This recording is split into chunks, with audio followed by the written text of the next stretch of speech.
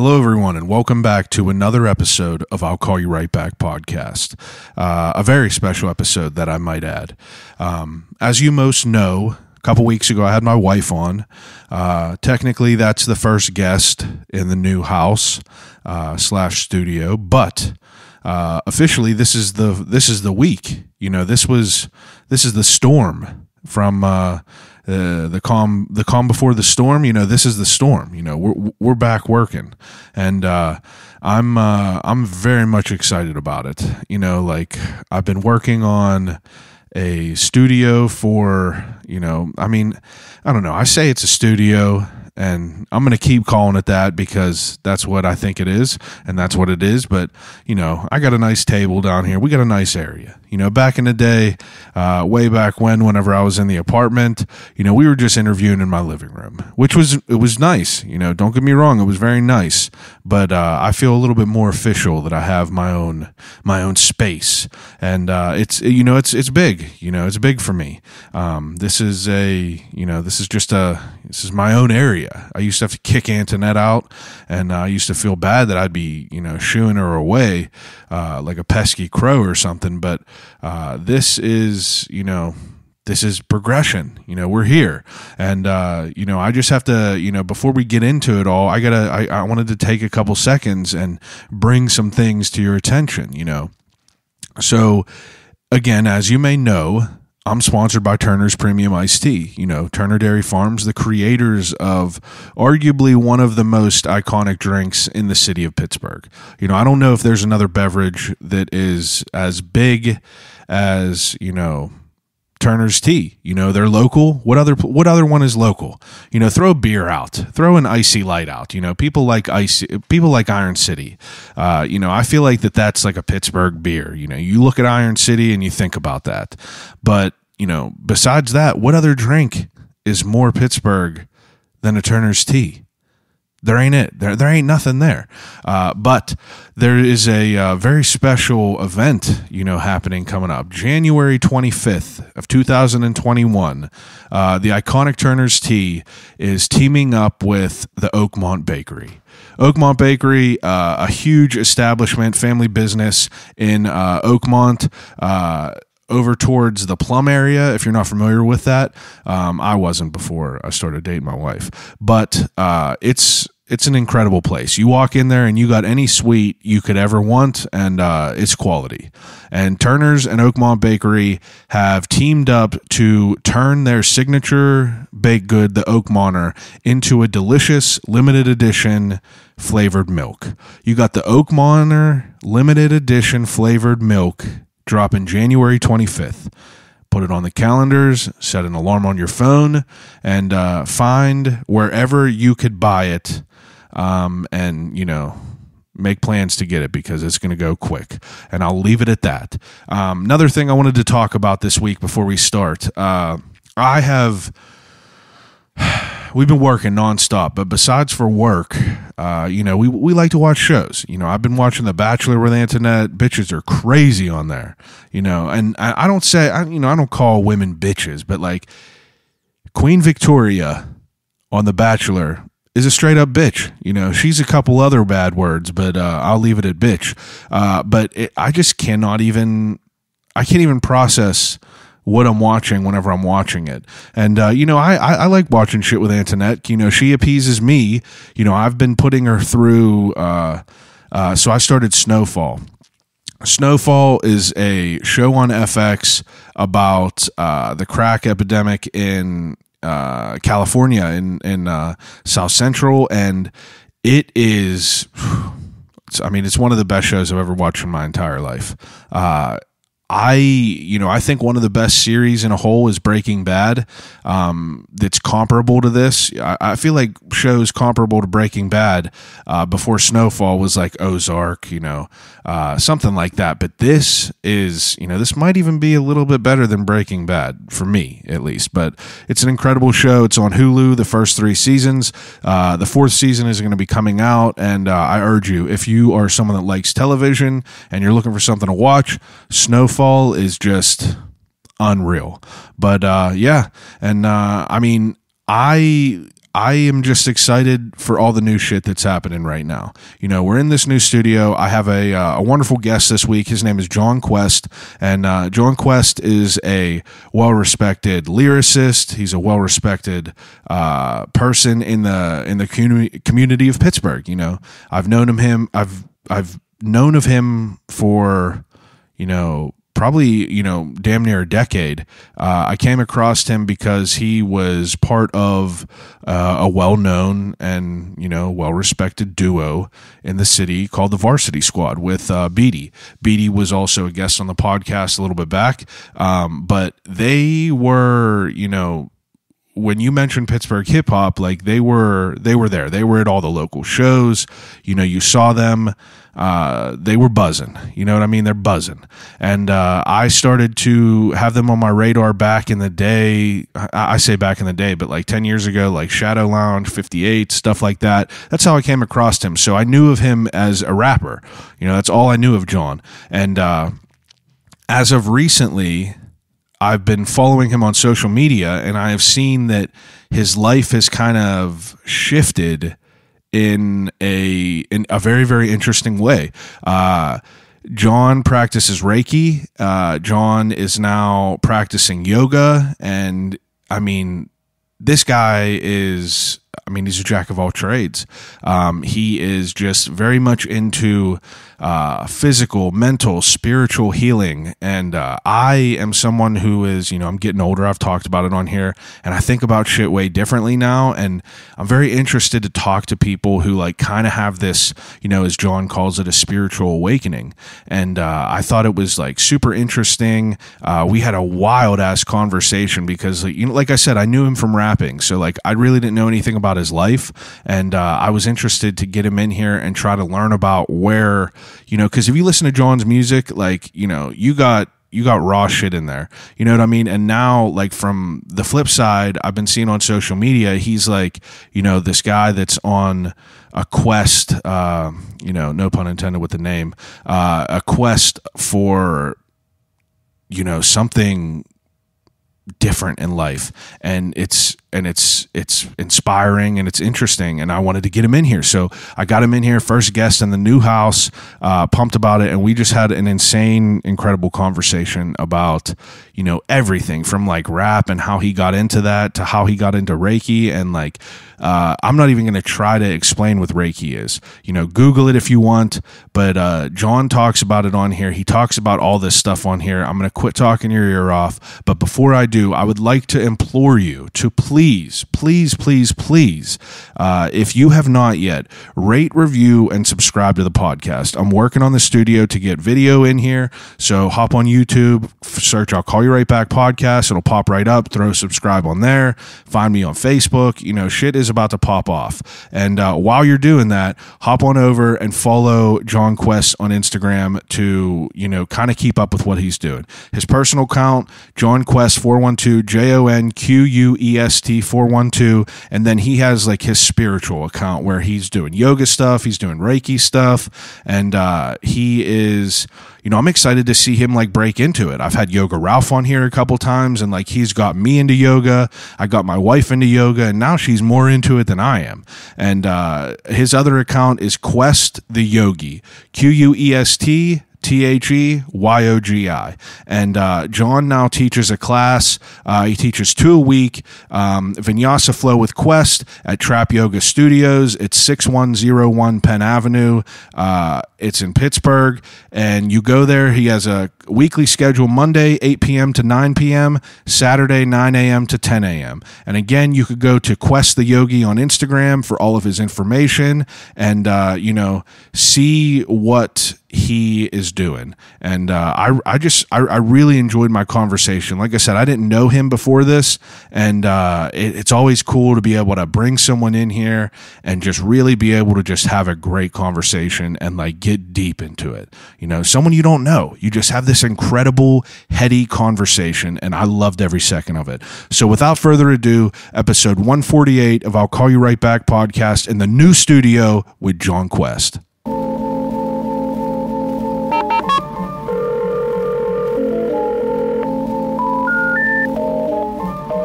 I gotta use the telephone. Hello?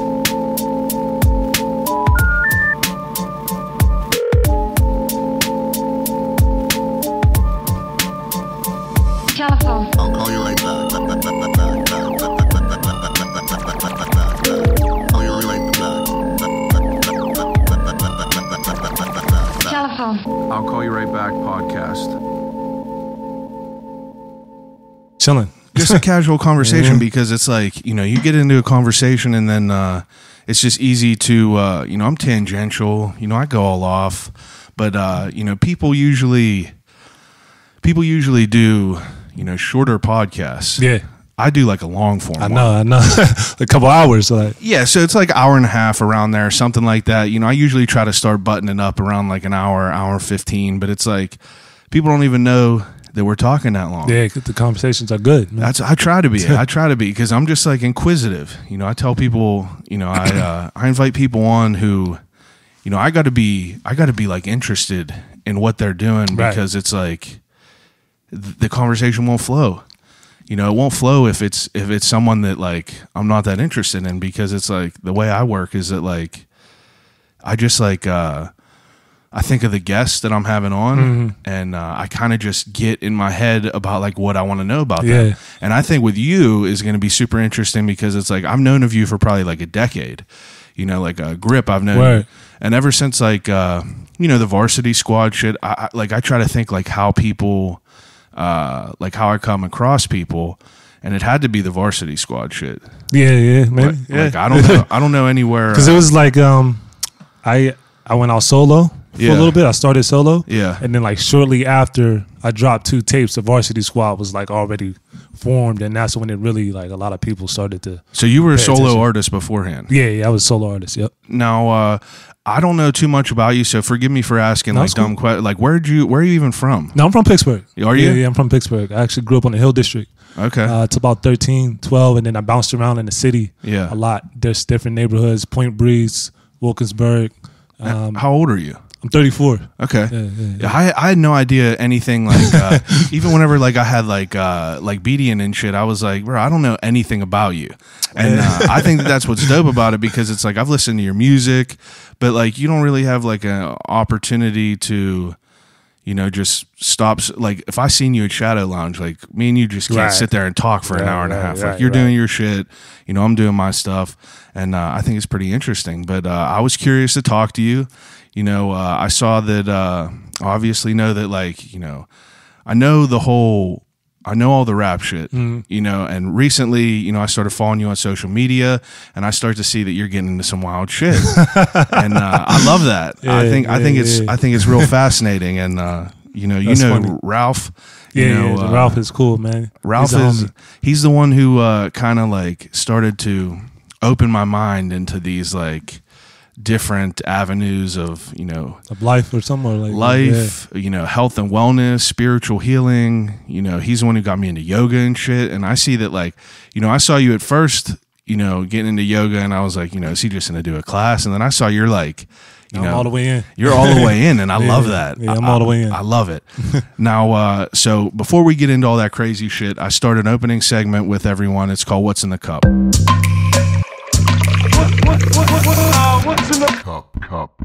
So, what's in your cup? Got Turner's lemonade, baby. Ice Turner's cold. lemonade, ice cold, chilled, and I got the diet Turner's. Um, but uh, you know, we're sponsored by Turner's over here, so I take shout a out to second. Turner's. Shout out to Turner's. Like, you know, was it was it big for you growing up? Yeah, you know what, man? Um, especially when I went to Penn Hills, though. I'll be honest. Like when I got to Penn Hills, Yeah. it was like Turner's everything. That's I'm 'cause not they're from Penn Yeah, Hills. Yeah, right. They're from Penn Hills. Yeah. so when I went to Penn Hills, like ninth grade, um, it was Turner's all over the place. You seen the the, uh, the Turner building, like Oh, yeah. all over. It was crazy. Wow, so that's when I got into it. Now, uh, so, I mean, like, what, uh, what, like, what's your avenue of even getting into the music? Like, when did that happen? Like, how old were you? Um, so it started really, um, like my mom was always big into music. Yeah, So, you know, as far as me recording and like actually trying to put something together on my own, really Yeah. started in high school. Um, like when I got around uh, Penn Hills, Yeah. ninth grade, that's when I like really started to, um, you know, just write some lyrics with a bunch of my buddies in the same school district that I was in. Mm-hmm. And we had a group. there was like seven of us. We had a group called DDC, and it was Dark Disciple Click. That Yeah. was our name. And um, we got that name because we were just huge fans of Three Six Mafia. Yeah, you know what I'm saying? Like uh, that's naturally. yeah. You're all right with that. Um, I love Three Six. Three Six is in my top ten Of all time? Yeah, all, all time. Three Six Mafia is in my top ten. I mean, they got a they got a catalog to Yeah. back it up for sure. They do. Um, so that's how it started, really. And then you know, I kind of just went through um, a couple different names, but I didn't take it serious Yeah, until uh, man, until about 2010. yeah, Yes, when I took it serious and was started put together my first mixtape, which was uh, Relevance to Johnny Quest season one. yeah. And now, now, so before now, before the music and shit, like, what are you into before this? Like, are you Uh, like computers. sports, computers? Yeah, yeah, yeah, yeah, yeah. Actually, yeah. So funny, right? Because nobody really knows too much about me, and I kind of like it that way. Yeah. But um, yeah, I was into computers like growing up, really. Like I was looking into your social media, like you know, I'll usually do my I'll do my due diligence and I'll like get get into people's social media and go all the way back Mm. just to see if I could find some like noir type shit and just like bring up like random up shit. stuff. Yeah. But it's like uh, you know, I didn't know too much about it, and like I saw that you're into like you know, I saw you doing take, taking photos for a minute. Yeah, yeah. It's like you seem you seem to be a jack of all trades. Yeah, that's pretty much how it is, man. Especially even on like computers. That's um that's actually my career. Oh, yeah? Yeah. I'm a DevOps engineer, Really? and uh, yeah, I've been doing that um, c- computers since I like was in middle school, high That's school, wild. just breaking and fixing stuff.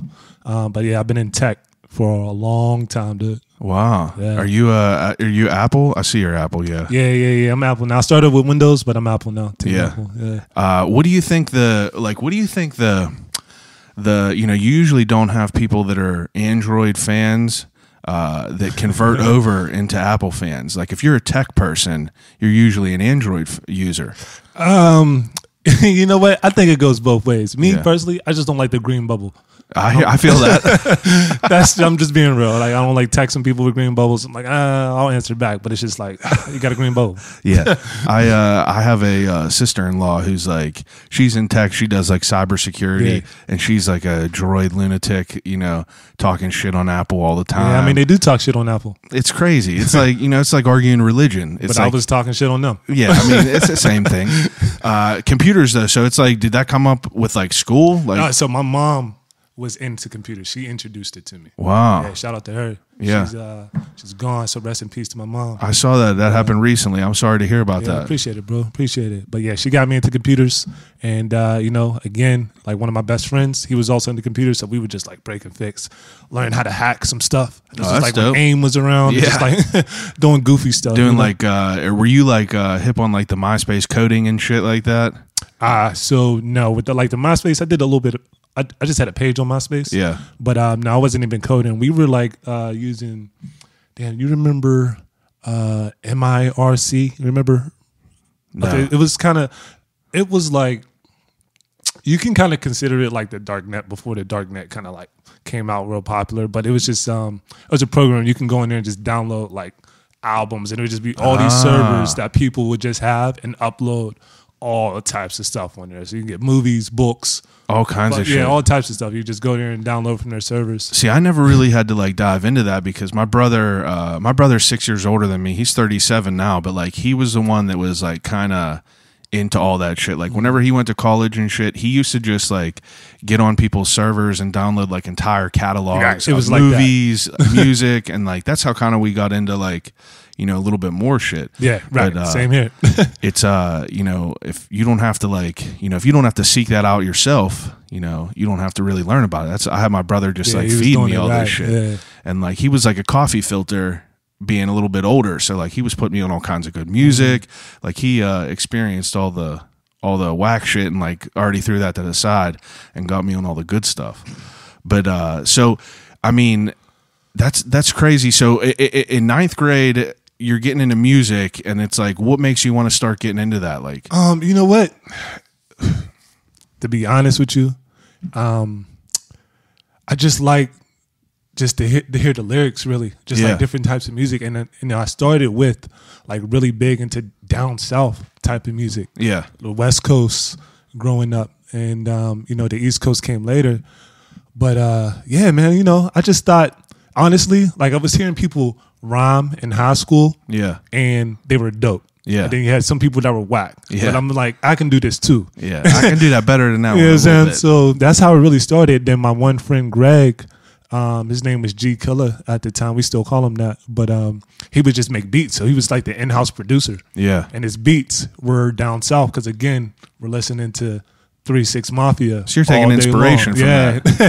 um, so that's really how it started, man. So there was a six of us. I mean, the funny part is too, we would record in his house yeah, like with the busted setup on Windows and just like a little mic and using the screen door for the filter. yeah, And um, we didn't know how to write lyrics at the time. So I guess I should say we didn't know how to count bars at the time. So we would just write, Yeah. write, and write, and then just go record with no structure in the song. So it would just be like long verses, a long verse and a hook, and then somebody else just comes with a long verse. And um, I didn't start learning how to count bars until after high school when I met uh, a couple people in the city and like just studying them and seeing what they were doing. And actually, that first group that I found was East End Empire. yeah, yeah, yeah. Like I found them on like MySpace. You know what I mean? Really? Like BD, Mac, Yeah. franchise. I found them on MySpace, and I'm like, whoa, these dudes are like really spitting. And they had some uh, DJs hosting their mixtapes that I was listening to. Like uh, I don't know if it's Big Mike, but they had a couple DJs that were like in the scene at the time, and um, yeah, just they inspired me. Really, I was like, okay, these dudes are out here. Let me get out here too. It's interesting to hear because like I was going through and I was listening to uh like I was listening to a bunch of your music just like trying to like hear your lyrics and shit like that and you're very uh you're a very vivid storyteller Yeah. with like your music. Like uh Appreciate that. like therapy like I was I listened to that probably like four different times just Oh, because it, it it's such like a cool like uh when it first time I heard uh Dance with the Devil by uh Immortal Tech Immortal Technique Uh, yeah, yeah, I it- so. I it's think like so. I, I never like heard a, a, a song that like told a story like that and uh, i was just like you know kind of fascinated whenever you would hear shit because it's like yeah everyone's telling a story somewhat with their music but it's like you're telling like a full story from beginning to end Yeah, yeah, I And, try to. I, I think that that's uh, I think it's interesting to be able to do that and incorporate that into you know a complete project and still have it like kind of flow well. I appreciate it, man. For sure, I was Yeah. listening to it because like I, I'm I'm very very transparent. I never listened to like a bunch of your shit. Like your first project, I got to be honest, never listened to it. But uh, I started like diving into all the other stuff, and I immediately noticed that like you know you you. Uh, I like your references, like you know, buying Supreme decks and don't even skateboard and shit like that. Like I think that that's Well, dope appreciate it, bro. because it's like you know you're you seem to be very uh, real with your lyrics. That's how I go by Johnny Quest, Real Adventures. Yeah, and I think that that's dope too. That's why I was in uh, that. That was uh, coming up next. But like, where do you uh, like like how did that name come to be? Um, yeah, so Jonny Quest was my favorite cartoon Yeah. growing up. I just remember like waking up, watching the show. It was him, uh, the Dot, Race Bannon, Hadji, Bandit, and they would just be like all over the the planet, the universe, just saving the world. One day you might be fighting zombies, then the next one's fighting aliens and shit. What a weird show that was. yeah, it was crazy as hell because you're traveling everywhere with kids. Like, I bet you if I watched that now, I would be like, you know, I started watching some shit like uh, I remember Snow White was on TV one day, Mm-hmm. and I like just went cross past it, and I was like, you know, I haven't I haven't seen this in like probably 15 years, Yeah. and I put it on, and I was like, this shit is fucked up. Like it, it's like very dark and like bizarre. Yeah, it is. It's uh, but it's interesting to think about that. you Johnny know what Quest. other show is crazy? Too, I still watch it now. Rugrats. Rugrats is sick. This is a wild ass show. Like, sick. You- That episode with that big baby in there like that. I don't know if I remember that one. I mean, like I was a little bit, uh, you know, I'm 30, so that like that was right in my wheelhouse. Like Rugrats was every day. Rugrats, all them other cartoons, Yeah, yeah. Doug, and everything like that.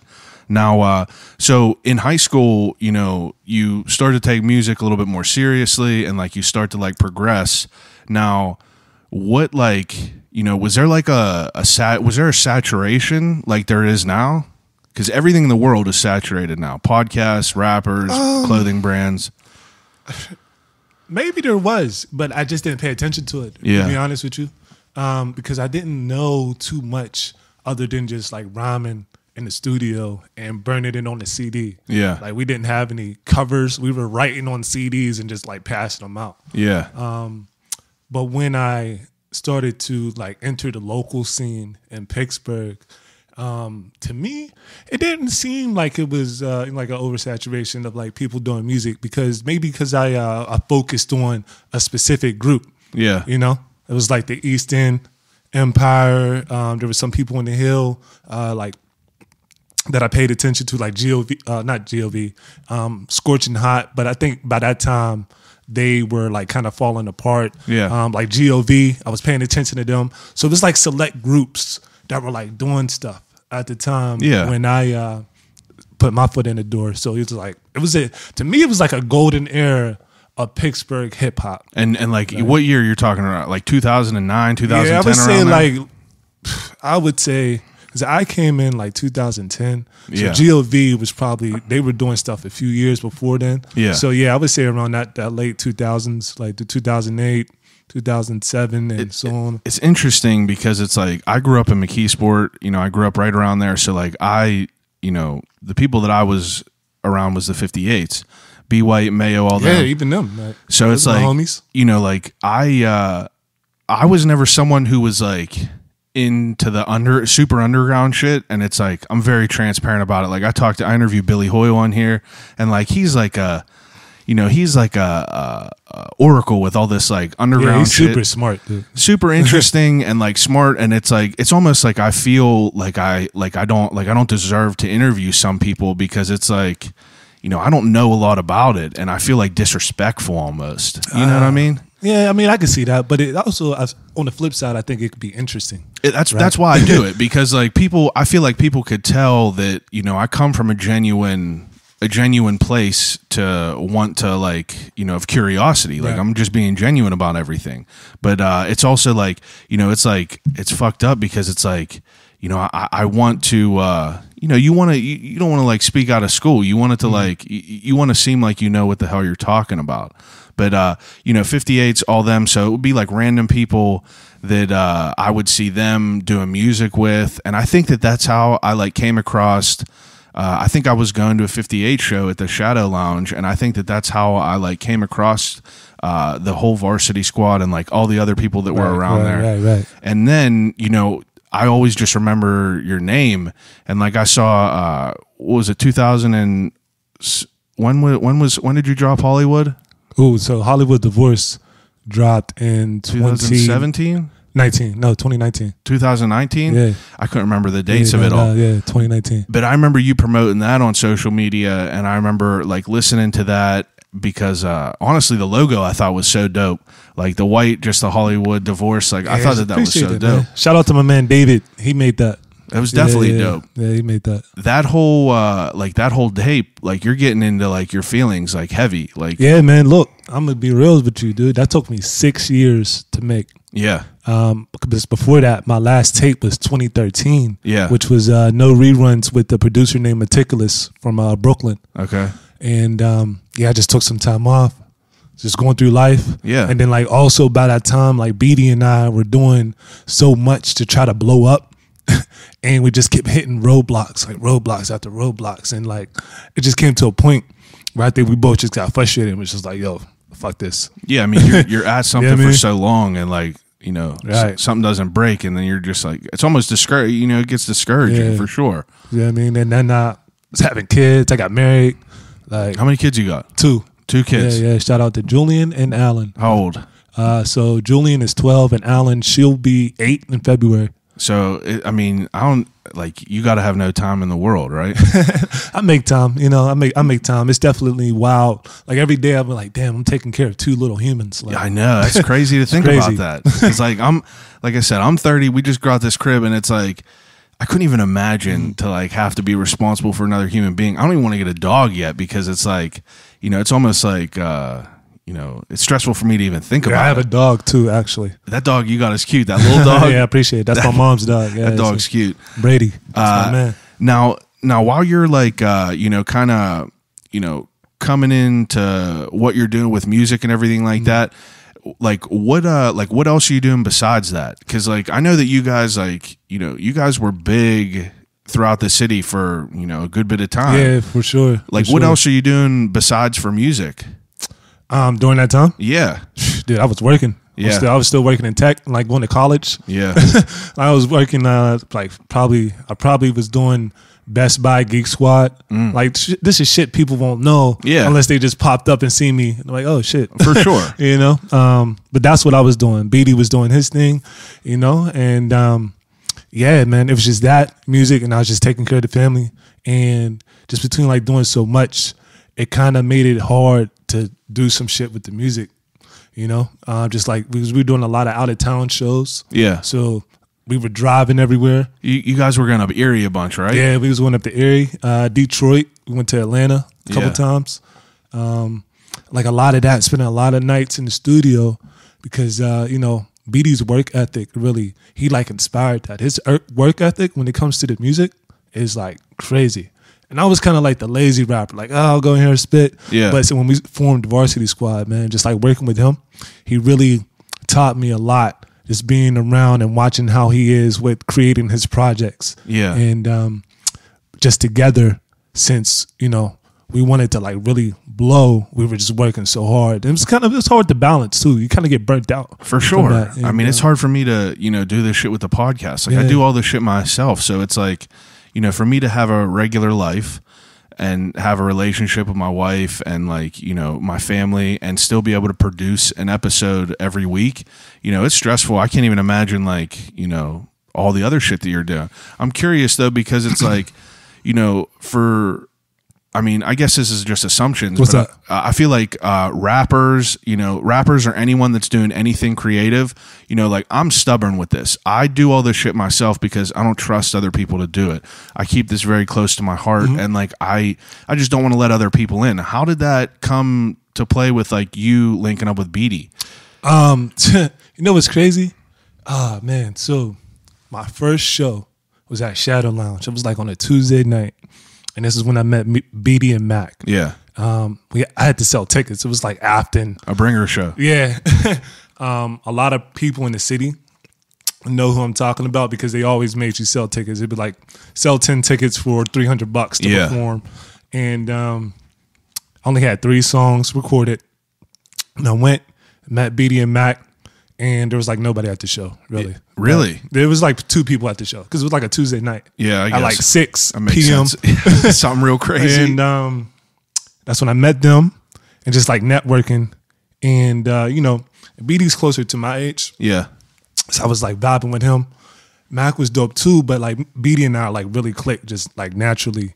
And uh, just started talking to him. I'm like, yo, can I'm new. they said, you know, we like what you did. Can you show me around? Maybe we could do a track. And he took me to Soy Sauce uh, Studios, Tough Sound Recording Studios. Yeah. And this is when I like first time stepped into a real booth and did uh, two freestyle songs with Beedie.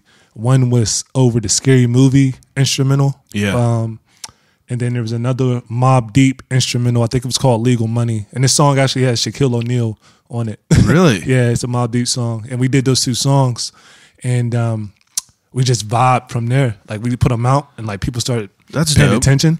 And then uh, shortly after, man, I think I dropped my tape, the uh, season one. Yeah, And then during season one, I met Shade Cobain, who's another producer in Pittsburgh.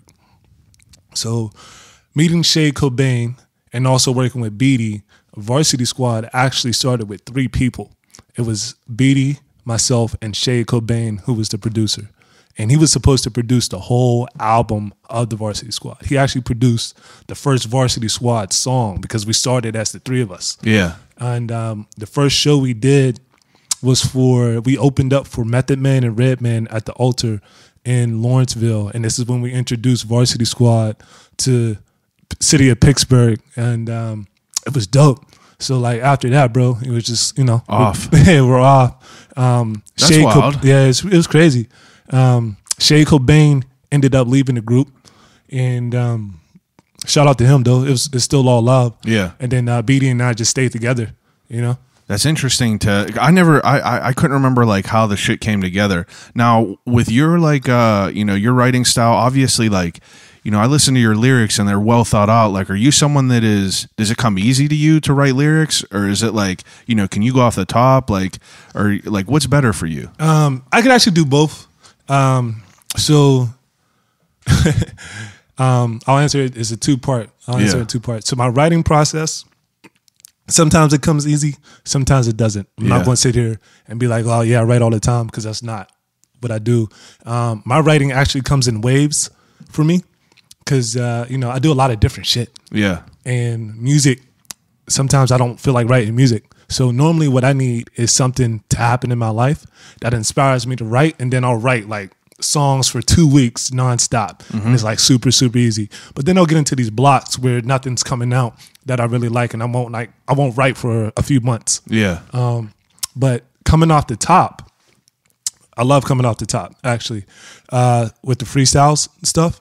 So there used to be a, a game called Rhyme Calisthenics. This is where I also kind of made my name in Pittsburgh. It was a freestyle game. And uh, are you familiar with Rhyme Calisthenics? No. So Rhyme Calisthenics, shout out to Shade and Thelonious Stretch. It was a game. They had a wheel. It was kind of like the Wheel of Fortune. And there were 12 categories. Uh, it might be like word bank, mirror match, um, cameo, uh, crowd topic. And you would sign up. I think there would be uh, 12 MCs. And each one would have to go up, spin the wheel in front of a crowded shadow lounge. Oh, this is all Shadow Lounge? Yeah, this is all at Shadow Lounge. Oh, wow. It would be like packed from the front to the back of the wall. Um, so if it landed on crowd topic, the host of the show is going to get crowd topic Was from just the people. yelling shit out? Yeah, and Yeah. Um, you got 45 seconds to perform that, and you get scored by judges. And Wow. they put uh, they put um, instrumentals. So yeah, man, I played Rhyme Cow, and that's like I really made my name. Uh, a little bit got a lot of people's attention. Um, you know, I didn't win any of them. Yeah. but I always, I won't say always. After the first time, the first time I got booed because I suck, right? And I was like, oh fuck that, I'm coming back. Yeah. And I came back, started killing it, and each time I would get further and further. Um, so I think I made it to like the second or third round the second time. And then like the last two times that I played, I made it to the, the final round and would always lose at the end. Yeah. You know?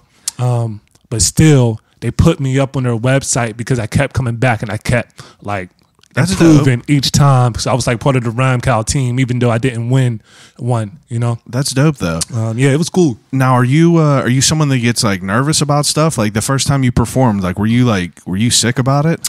Um, yeah, I was definitely nervous, dude. Like even performing. Damn, I got something in my throat. That's all right. Go ahead.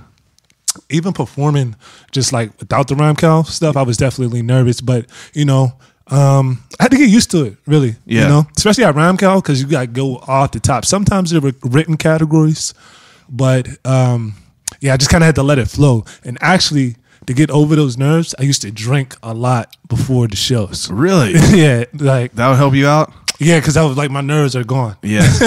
You know, there's a funny story. Funny story. Um, there was one time, Beedie and I had a show. I forget who we were performing. We were at the Shadow Lounge, but we both got hammered before the show, and we were doing a Varsity Squad song. Beedie did his part, and I'm up there drunk as fuck, dude. I'm drunk as hell. So it's time to say my verse.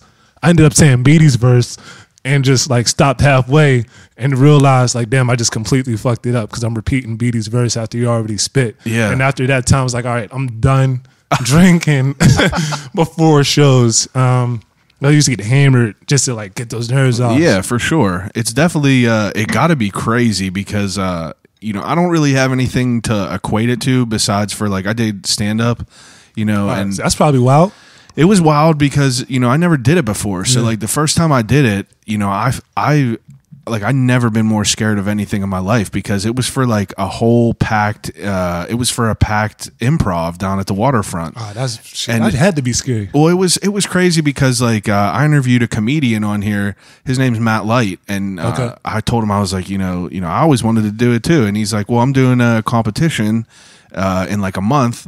You know, I'll sign you up. And the way it is is you get matched up against someone. You each get five minutes, and then the crowd, uh, you know, votes who's better between them two. So you know, I've I've always been writing shit. Like I've always wrote comedy. I've always loved it. Watch movies, all this shit. And uh, I get there, and it's like I, I've never been more scared in my life. Mm. I felt like I was gonna go puke in a fucking bathroom, like like fucking B-Rabbit or something. How many times did you do it? I made it all the way to the final round. Oh wow. Yeah, I was uh, I was pumped about it. I appreciate it. I, I it went well the first time, but it was like once I did that first one, I was like, we're good. Oh, You know, okay, you just got it done. I Cool. got up Yeah, there cool. and, and and it went well, and I and I felt like I was on like fucking drugs or something. As soon as I got off, I was like floating. You know, everyone's like, "Yo, that's dope." Like I had friends there, and they're like, "You fucking killed it," and I'm just like, you know, like this is what I'm meant to do. Yeah. And uh, but it's interesting because I feel like you know the whole rap scene is maybe less unforgiving.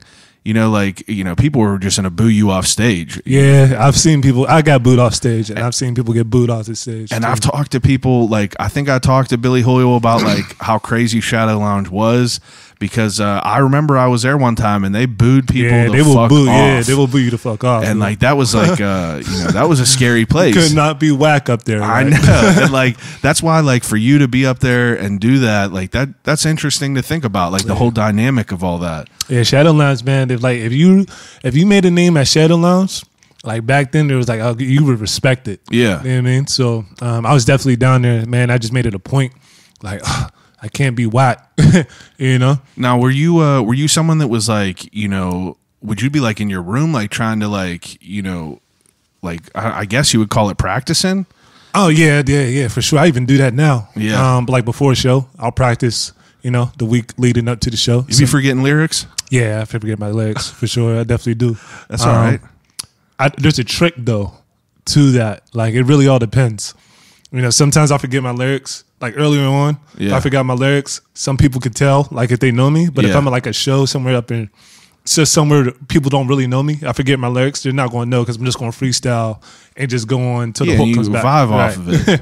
you know, That's uh yeah that's uh, I've always like been curious about that because I've listened to I listen and I've listened to Ready to Die probably a thousand times through and it's like I still don't know all the lyrics. Yeah. I never was someone who was able to remember lyrics, but I can remember like whole dialogues of movies like Mm, see, that's something I can't remember. entire dialogues of movie dumbass shit like how much pizza costs in Home Alone and shit.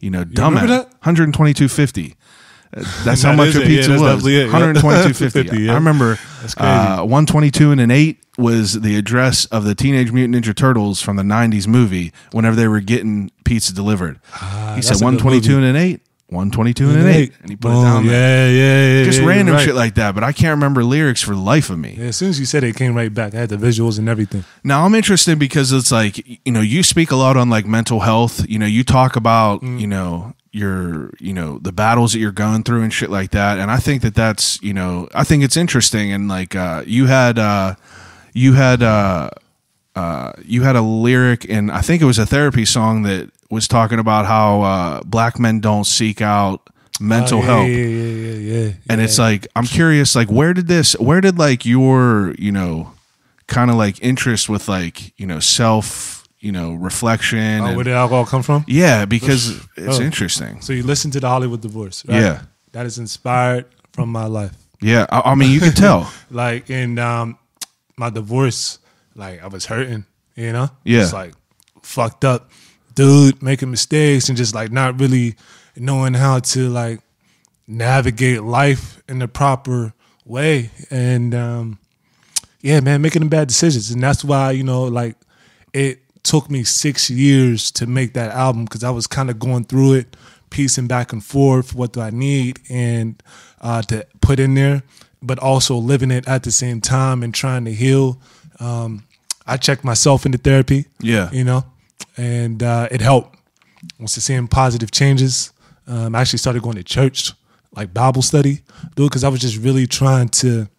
were you religious beforehand So I went to a Catholic school yeah since kindergarten up until ninth grade. yeah But I always found myself spiritual, really. Just see, just one i like that way to just describe like, it spiritual you know, and uh, yeah, I was just like looking up stuff, the occult as a kid, and just like all weird types of weird shit, Yeah. vampires, like you know I mean, Just being curious yeah, just it. mad curious, and um, you know, man, it didn't make any sense at the time, and I had a couple uh, situations happened to me that like made me question things about life, like in high school, Yeah. and um, just like like my the veil got lifted like once or twice. I was like, oh shit, is that what I really kind of noticed right there? You know, and then uh, things just kind of stopped. So you know, during my divorce, since you know I am I believe in God and whatever you know, no disrespect to whatever anybody else is doing, but that's just me. I believe Yeah. in God and the universe. Um, I needed to check myself in therapy, and then I also uh, had to go like into church because I lost my faith Yeah. completely gone because I was like a fucked up. Yeah, like why did this happen to me? Yeah. If you know, if I'm following and being, uh, you know, why why would this happen to me? All this terrible stuff. Dude, be honest with you, I wasn't even following shit. Like I was like doing some fucked up stuff, you know what I mean? And uh, like Hollywood Divorce was like me writing, me doing shadow work on myself and just like really telling the world who the old Jon was because I had to kill that person. Yeah, You know what I mean? Um, to be a new man who I am today. So, uh, yeah. And how I did that, man, you know, I started going to church, Bible study. I got baptized on my 30th birthday. And it's like that little spiritual journey right there on its own helped me to understand what it meant to love someone, love myself, uh, you know, be a better man, father, husband, person in general. yeah, absolutely. Um, yeah, that's kind of how it started, really. Like that was like the one path, one the start of my spiritual journey, like for real. right when you were around thirty, huh? Yeah. Yep. It's interesting because it's like I grew up in a I grew up going to church Catholic. You know, I went through uh, you know confirmation, all that, all the way up until eighth grade, and then you know I just stopped. And uh, and uh, I just talked to that rabbi, you know, Yeah, yeah, a couple cool, weeks ago. Cool show. That was a cool. Show. I appreciate episode. that. But it's like, you know, I'm 30 now and it's like I have like uh you know, I'm a little bit more conscious of like, you know, my physical and mental health and it's Mm-hmm. like I I tend to find myself thinking about shit on a deeper level. And uh, I've talked to Ralph about this, Yeah, you yeah, know, yeah.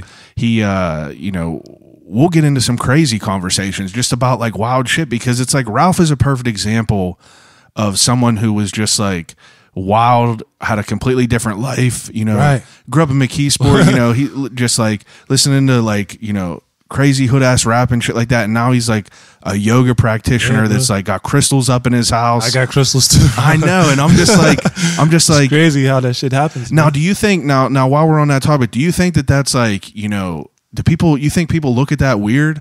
You Oh, know, yeah, they definitely do. They definitely do. why do you think that is?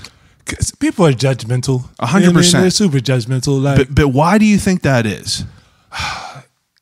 Um, why do I think people are judgmental? Or Why do you think people just, hate look at it, hate on like you know the crystals and shit like that? So look, they think a lot of religious people think it has to do with the devil. Yeah. You know I mean, I'm just going to keep it 100. Yeah. and um, you know, me personally, um, it's it's normal shit. Like people, you have to think like back in the day, like even astrology, right? Yeah. the minds thousands of years ago they were using the stars to fucking navigate through life and predict shit. So Yeah. like, you know, when religion came out,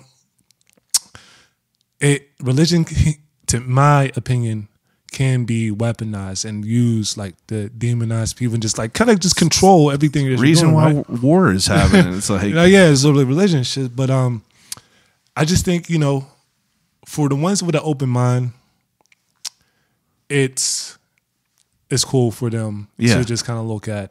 Um, but people just hate on shit, man. They I do. Mean, they, just hate on everything. Like you know, we can sit here and drink this Turner's tea, and people will fucking hate. hundred percent, Like, why are you drinking Turner's tea? Oh, that's bullshit. hundred percent. And um, People hate on all kinds of shit. all types of shit. It's interesting to think about that though, because it's like I'm definitely more open minded uh, than I used to be. You know, I, I often refer to, you know, the way I was younger. Uh, I used to make surface decisions. Mm. You know, I would call them surface decisions because you know I just did shit just to do it. I never thought about Yeah, it. fucking too, bro. You know what I mean? Like I talk about it. My Me biggest too. example is football. It's like I play football my entire life. I have Just did no fucking idea why. No idea why. And I think about that to this day. Like, you know, what was the reasoning that I did all that and that I didn't like, you know, pursue something else that I wanted to. And it was just like I was following along a path. So did, do you think like that you know your your parents or somebody influenced you to just like yo you need to play football because of your size or like what I think I think whenever I was younger, you know, my brother was athletic. He played basketball, baseball, football, you know, all this shit, and it's like,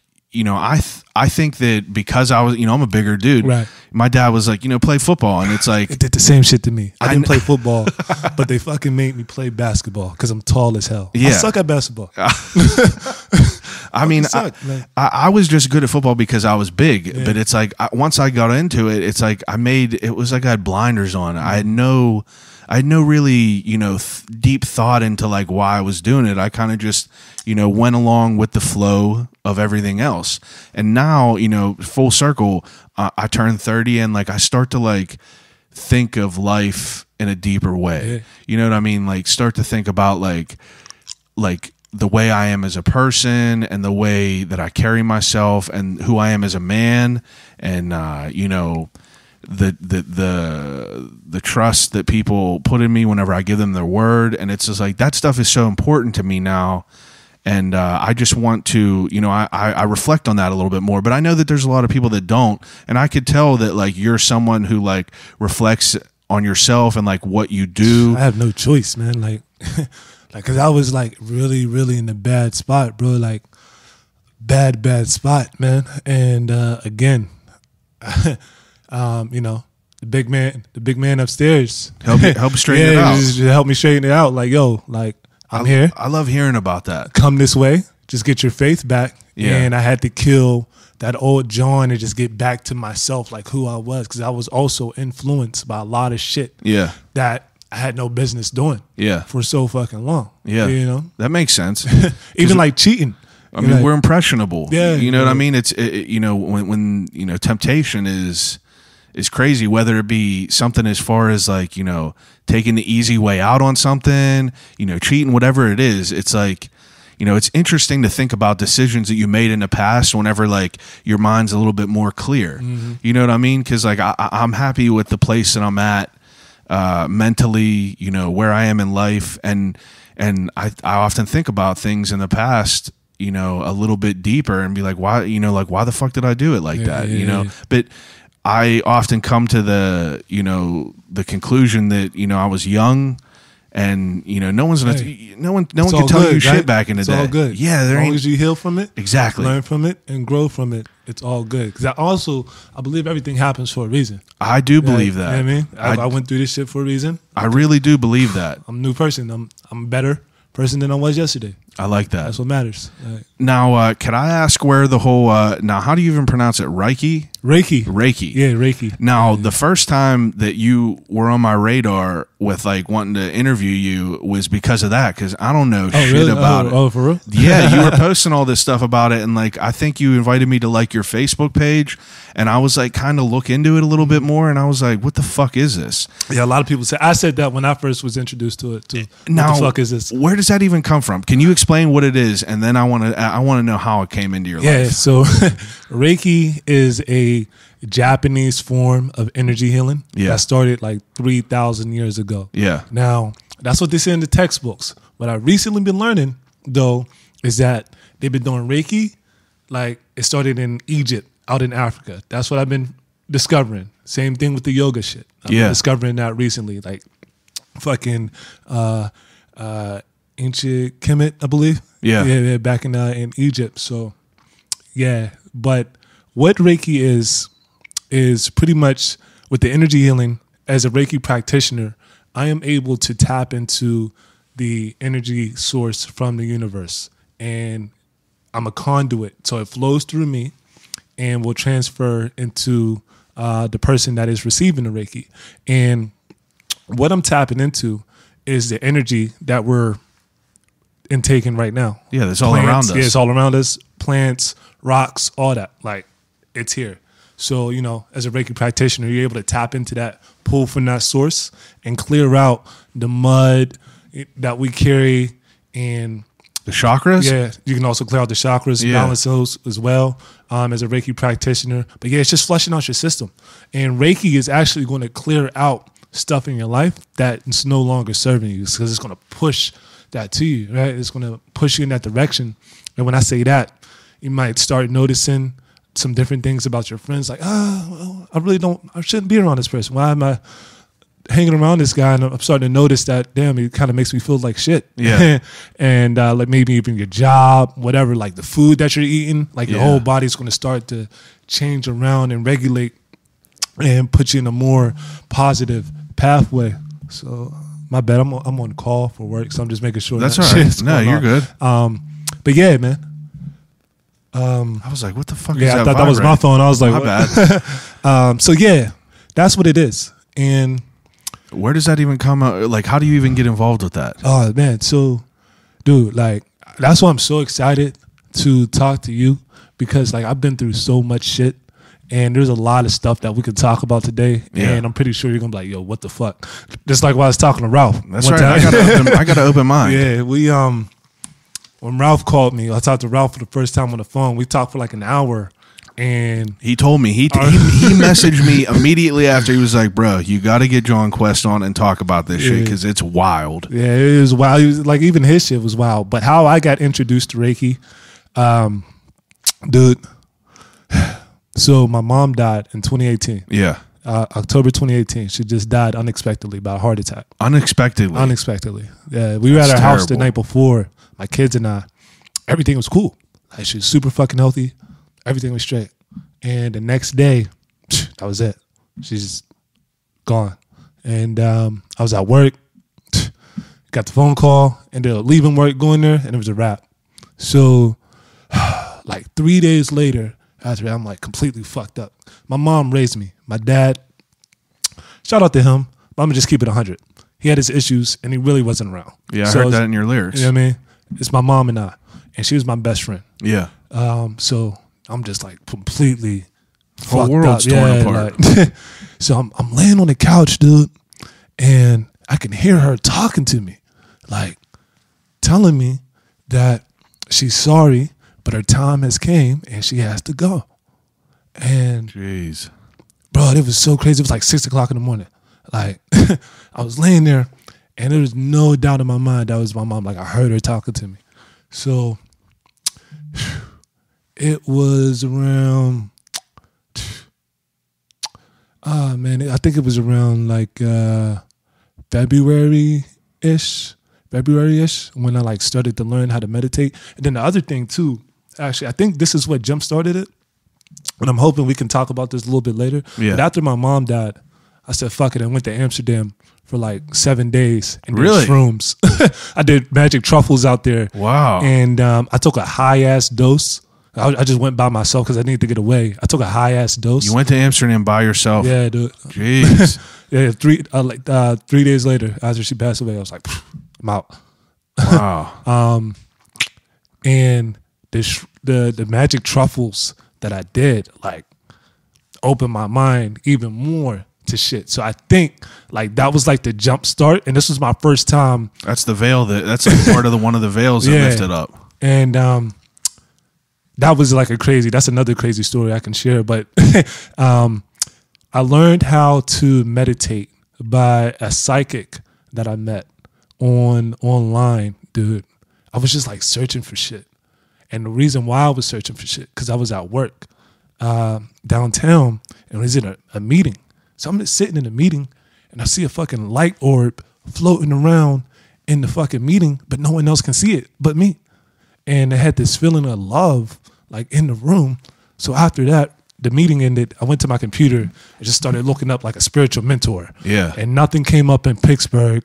Then I found this psychic on thumbtack.com. She had no picture up, but she had like 35 star reviews. Yeah. And every comment was like, oh, she said this date was going to happen and it did, blah, blah, blah. So I'm like, fuck it. I'm going to call her. It's only 15 bucks.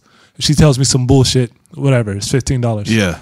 So she calls me that night and blows my mind away in fucking 15 minutes. Really? yeah. She knows shit about me that I've never told anybody. Yeah. And at the end of the phone call, she's like, hey, I also want to tell you that you have gifts. Um, you're a healer and you're an empath. I was like, what the fuck? so she's like, look, I can teach you how to meditate and open up your third eye and tap into those gifts.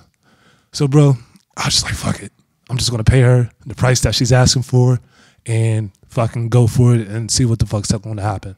Did any part of you? I'm sorry to interrupt you. No, did cool. any part of you in the beginning, like, are you a skeptical person ever? No, I'm not because I'm not because I've seen enough in my life, like spiritually, Yeah. that I know there was. I always knew that there was something more, Yeah. out there than what we can fucking see. Yeah. And I've been to a few psychics before this one, and uh, her name is Mary, really, really good friend of mine. She's actually like she's around like seventy or eighty. I still go to her house now for a reading because she was always on point, bro. Wow. always on point. She would just pull out the tarot cards and be like, "Hey, I see this for the, like the next six to eighteen months," and just like give you a forecast, and the shit would happen. And all I was just like, I was just paying attention to like the career, the love, like oh, we're this and that. But she always told me to learn how to meditate and focus on my third eye. But I never paid attention to that shit. Mm. Never. And it didn't make sense until now why she kept telling me that for all these years. Wow. Um, when was this? When did you start going to her? Uh, so I went to Mary. I think my son was like two at the time, bro. Yeah. She was, yeah, he was So like you're like two. a decade ago. Yeah, yeah, Yeah. But I went with my mom. It was a psychic party. My mom was scared to do it. She just wanted me to go with her. Yeah. And my mom was terrified because she was like, I'm not fucking with that shit. She Yeah. was super religious. Yeah, for sure. but she got invited from a friend at her job and she didn't want to be an asshole and not go. Yeah. So I went, I was like, fuck it, I'll do it, you know? And I did it. And uh, I went back every year after that for like, I always go around my birthday Yeah. some shit or like every couple years. But just knowing Mary and then meeting the one that told me she could teach me how to meditate and she already blew my mind away within 15 minutes, I knew that this was something I needed to go dive into some more. And uh, she taught me how to meditate. She actually lives in Washington State, bro. I never seen her. We would just text and like talk over FaceTime, and she would give me the instructions.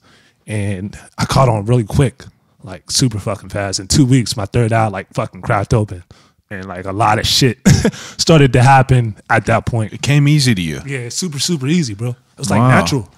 That's wild. Yeah, it really was, man. Because it's hard for me to even, uh, you know, like I try to. Uh, I try. I'm sorry. It's cold. No, it's cool, bro. I'm over here shivering. I'm sorry.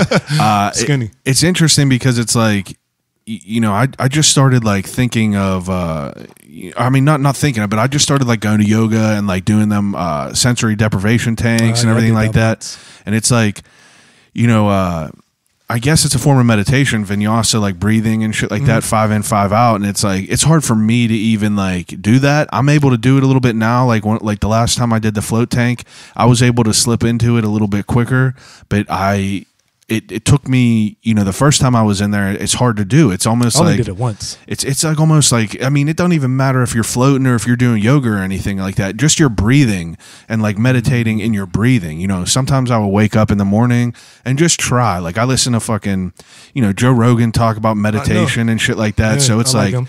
You know, it's like I, I want to be able to like kind of get to this point, and like I would try to breathe in, breathe out, but it's always like something like you know was distracting in my mind. I was never able to like you know be clear, and uh, the only time I've ever been able to like really get like that is like um, if it's like crazy super hot yoga. Okay. Uh, like uh, Ralph does yoga at that yoga flow. It's Yeah, like yeah, yeah. that's the hottest place I've ever been doing it, and uh, I, you know, I'll be able to get into it there. But then, uh, you know, the second time I was in that float tank, I was able to like get to it there, where it's like you know breathe in, where it's like it's almost like I feel like a, like you know just like I'm I'm existing there. It's like Mm-hmm. and uh, it, it was so interesting, but it's like a lot of people will have trouble trying to get into the Yeah, meditation. For sure, bro. And it's like do. it's interesting to hear that it came easy to you. Yeah, you. it came so fucking quick, bro. Same code so quick. And then the crazy part is, like, I was getting so deep into meditation that I was able to communicate with my mom. Like, she started popping up, bro. And I was talking to her, and then that's when I was like, oh shit, I'm so sad. But now this is a way I can communicate with my mom. Like, Yeah. her spirit, like, I could see her, feel her. Like, the shit was happening 100%. Yeah. So that just made me want to do it, do it even more. Like, cause I'm now, I can contact my mom, even though she's crossed over to the other side. Yeah. I'm starting to become happy again. So I was like meditating uh, fucking two, three times a day, bro. I actually quit my job. Actually, I walked away from a DevOps engineering job and quit. I was like, fuck this. I'm going to learn how to meditate and do yoga and Reiki for these next few months and just travel. When did this happen? This was in May 2019 because my mom passed away in 2018. I started meditating around February 2018 and just like just only really focusing on the meditation. But like by that time, shit was happening so damn fast with the meditation. I was at work. My boss pissed me off. I was just like, man, fuck this. I'm not. I don't need to work. I don't need to do this anymore. It's just a job. Just a job. Yeah. I'm gonna quit and learn how to meditate and travel. so that's what I did. Uh, or not even learn how to meditate, meditate even more, and do yoga. Yeah. And I got into Kundalini yoga, and um, yeah, man, that's all I did. And they say that happens when you have a spiritual awakening. That's what I went through.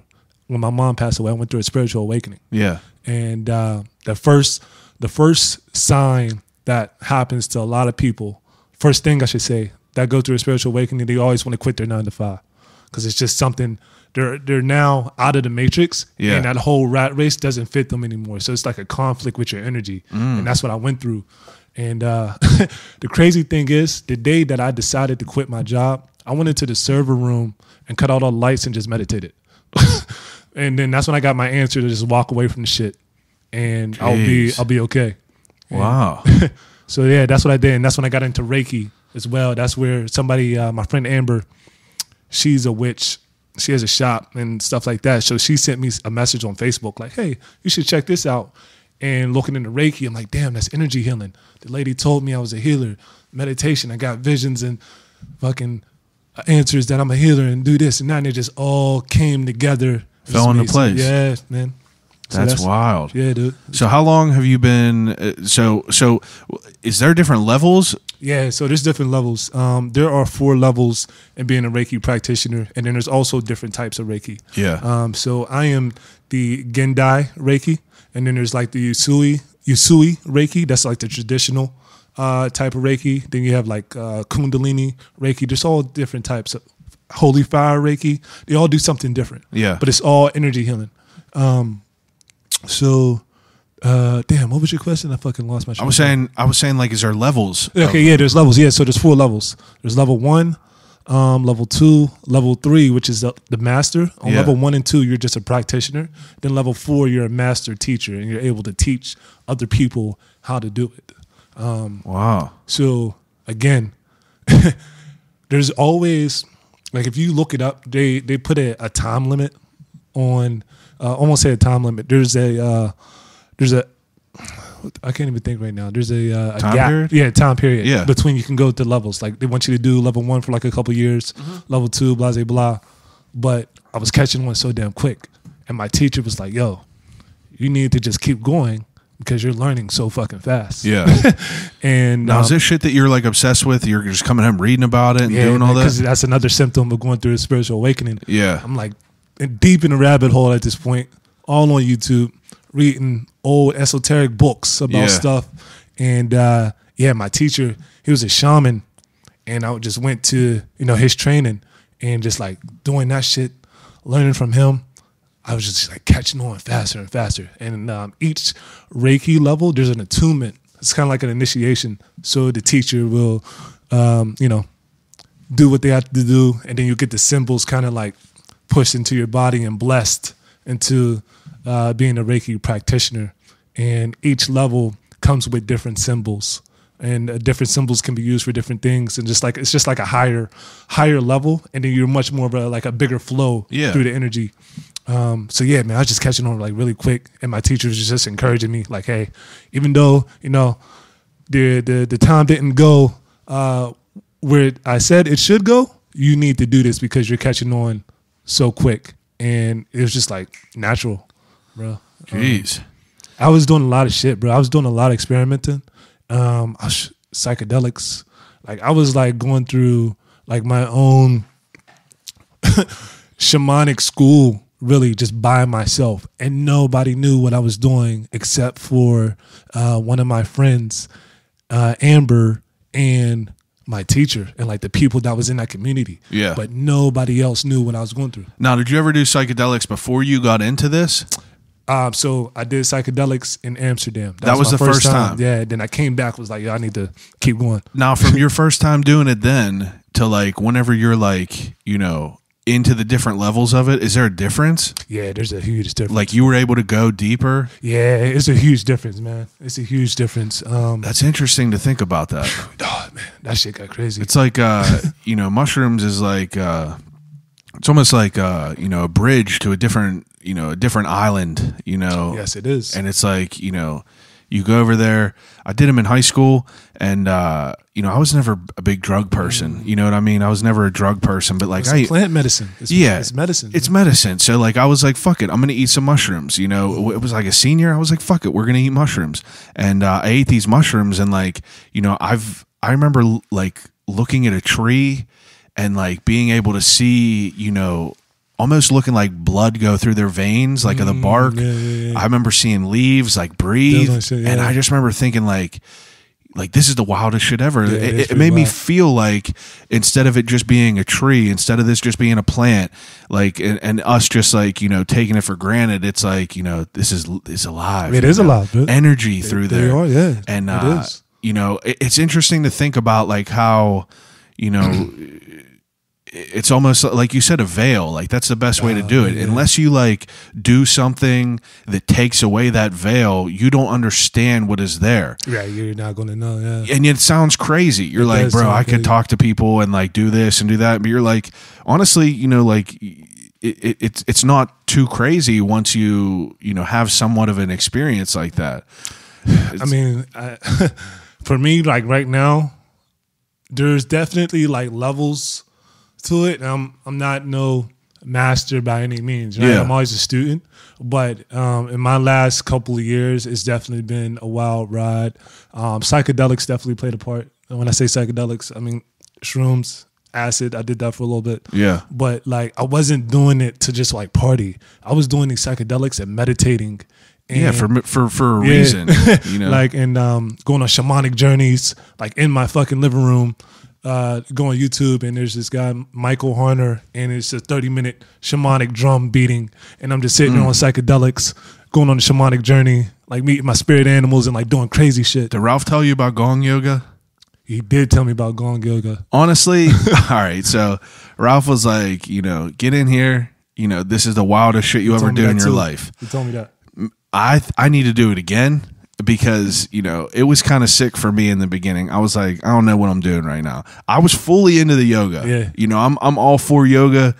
That's that's healing right there. It is. I just couldn't get into the gong yoga the first time I did it. I need to do it again. Why?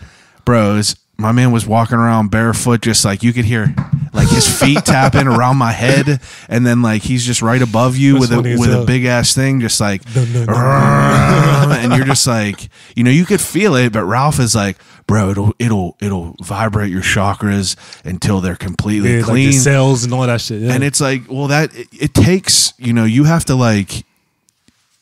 It- That's a tool, you know. That's like someone giving you a tool, but you don't know how to use it yet. You know, you have to be able to like learn how to use this shit. Mm-hmm. Yeah, you but do. Uh, I do want to be able to. I, do, I want to go back to it because Ralph speaks of it I missed the last one. He invited me to. I think there was one a couple weeks ago. I missed it. the way he speaks about it, it, you know, m- makes me feel like I'm not doing something right because like I need to be able to get Yeah. to where he is with it. You know who also did that? Joe Rogan with the uh, the tanks, the Yeah. float tanks. Like he made it sound like it was something super super crazy. And when I went for my first time, Yeah, you feel like you're going to be just floating off in a void of like psychedelic, you know, imagery, and you know you're able to like, you know, because he says it. He's like, you know, you can get in there and trip balls. yeah, so, yeah, that And- didn't happen to me. and that's what uh you know i gotta link you up with the people from levity uh they are doing a podcast called uh the levity floatcast where they'll they bring you in they interview you 20 minutes before you get in the tank Okay. about like you know your thoughts about it what you're feeling like now and you go and you do an hour float and then you come back out and you talk about, Talk it. about it. and like that's what i said in the beginning I, i've listened to rogan since like you know since the, you know he his episodes were in like the hundreds and uh he's always talked about the sensory deprivation so i've listened to it for so long that i felt like that i had like a cheat sheet into what to do uh, in what there. to do? Yeah, yeah, yeah. So it's like people, if people go into there and they never learned about it, you know, it's a tool that you don't know how to use. It's like someone handing Okay, you a maybe tool you don't know how to been my use. case because I, I started looking into it like when I found out I was about to go like three days before, Yeah. like on YouTube and like searching shit. But it's like listening to Rogan talk about like the way you like breathe and the way you're supposed to like, you know, kind of, you know, center yourself while you're in there. And mm-hmm. like, you know, eventually I'm sure you could get to that place where you're like tripping crazy. yeah, I'm sure. But, you know, uh, Dave from Levity told me you got to go three times, you know, to be Ah, able okay, to to start to do it. Because the first time you're in there, you're so overwhelmed with like a new experience of you know being in this little tube and it's weird and it feels Mm-hmm. like you're floating because of all the salt in there. And it's just like a weird experience. It's like you can't turn your brain off. And the second time you're in there you're like all right i know this is a familiar place. Like i'm in here. I know what this feels Right, like. right. And the second time i definitely it came a little bit easier to me for sure now i want to keep going just because you know i feel like you're gonna you know the, the more you go the more you're gonna be able to get out Get of it deeper out of it, and get more out of it. But- deeper you can go. I agree with you though. It's like, you know, people will give you a misconception and you let your assumptions like run off with it. Yeah, I think that's what I did. I Uh, but that's what I all did, yeah. You know, like that's that's natural. Like that's something Right, that it is you natural, for It, sure. It's something what I would expect from a lot of people, but it's like, you know, um, it's interesting to hear about everyone's like the way that they feel about things and the way they, you know, the way they get to that point and how they process it in their mind. Mm-hmm. And it's such like a, you know, I don't know. It's more interesting for me now because you know, like I said, I'm I, I'm getting a little bit older, and it's like I, I'm more conscious of it.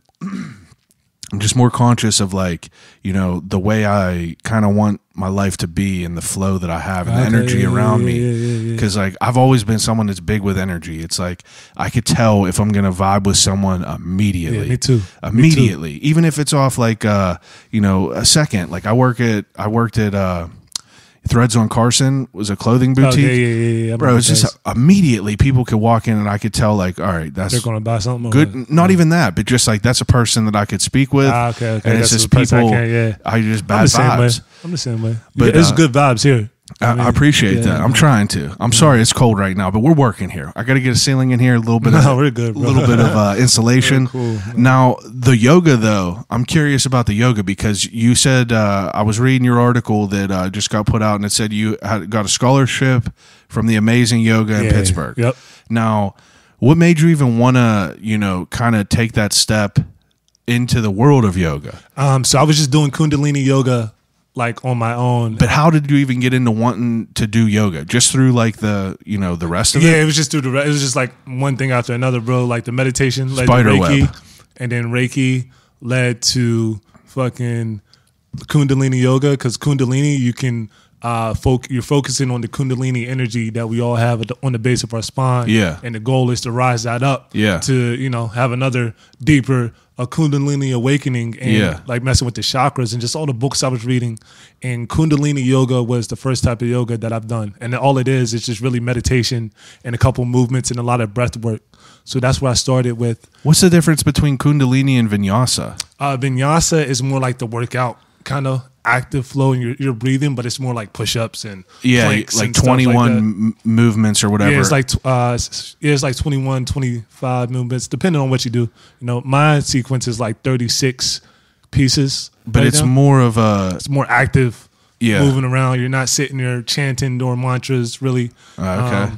in my class, though, uh, we do uh, we do the Om chant in the beginning Yeah. and the end because that's something that we were doing in Kundalini yoga. yeah. Uh, just kind of like set the tone, Brings everyone together. right? And um, yeah, so they're completely different. A lot of what I've learned is that when I would tell people I do yoga, and I'd be like, "Oh yeah, I'm doing Kundalini yoga," they're like, "Oh wow, you're doing that," because again, you're sitting there meditating, and the goal is to raise the Kundalini energy. And a lot of people that just do yoga, they're not doing Kundalini yoga. Yeah. Kundalini yoga is like some deep, deep type of yoga. And you're like, "Oh wow, okay." It's uh, it's interesting because I've never been to a class like that. I've only been to like you know vinyasa, hot yoga. Yeah, I've never done hot yoga. Honestly, dude, I I feel that I don't get a lot out of uh, a regular yoga. Like I can do yoga. Me and my wife will put a uh, like a video on and just do it here. But I, it's harder. It's almost like the first time I went into that sensory tank. It's like I can't get to that place without that heat because that heat makes me go inside my brain and like kind of just like because the first time I ever did hot yoga, like, dude, I'm I'm fat. All right, I'm big as hell.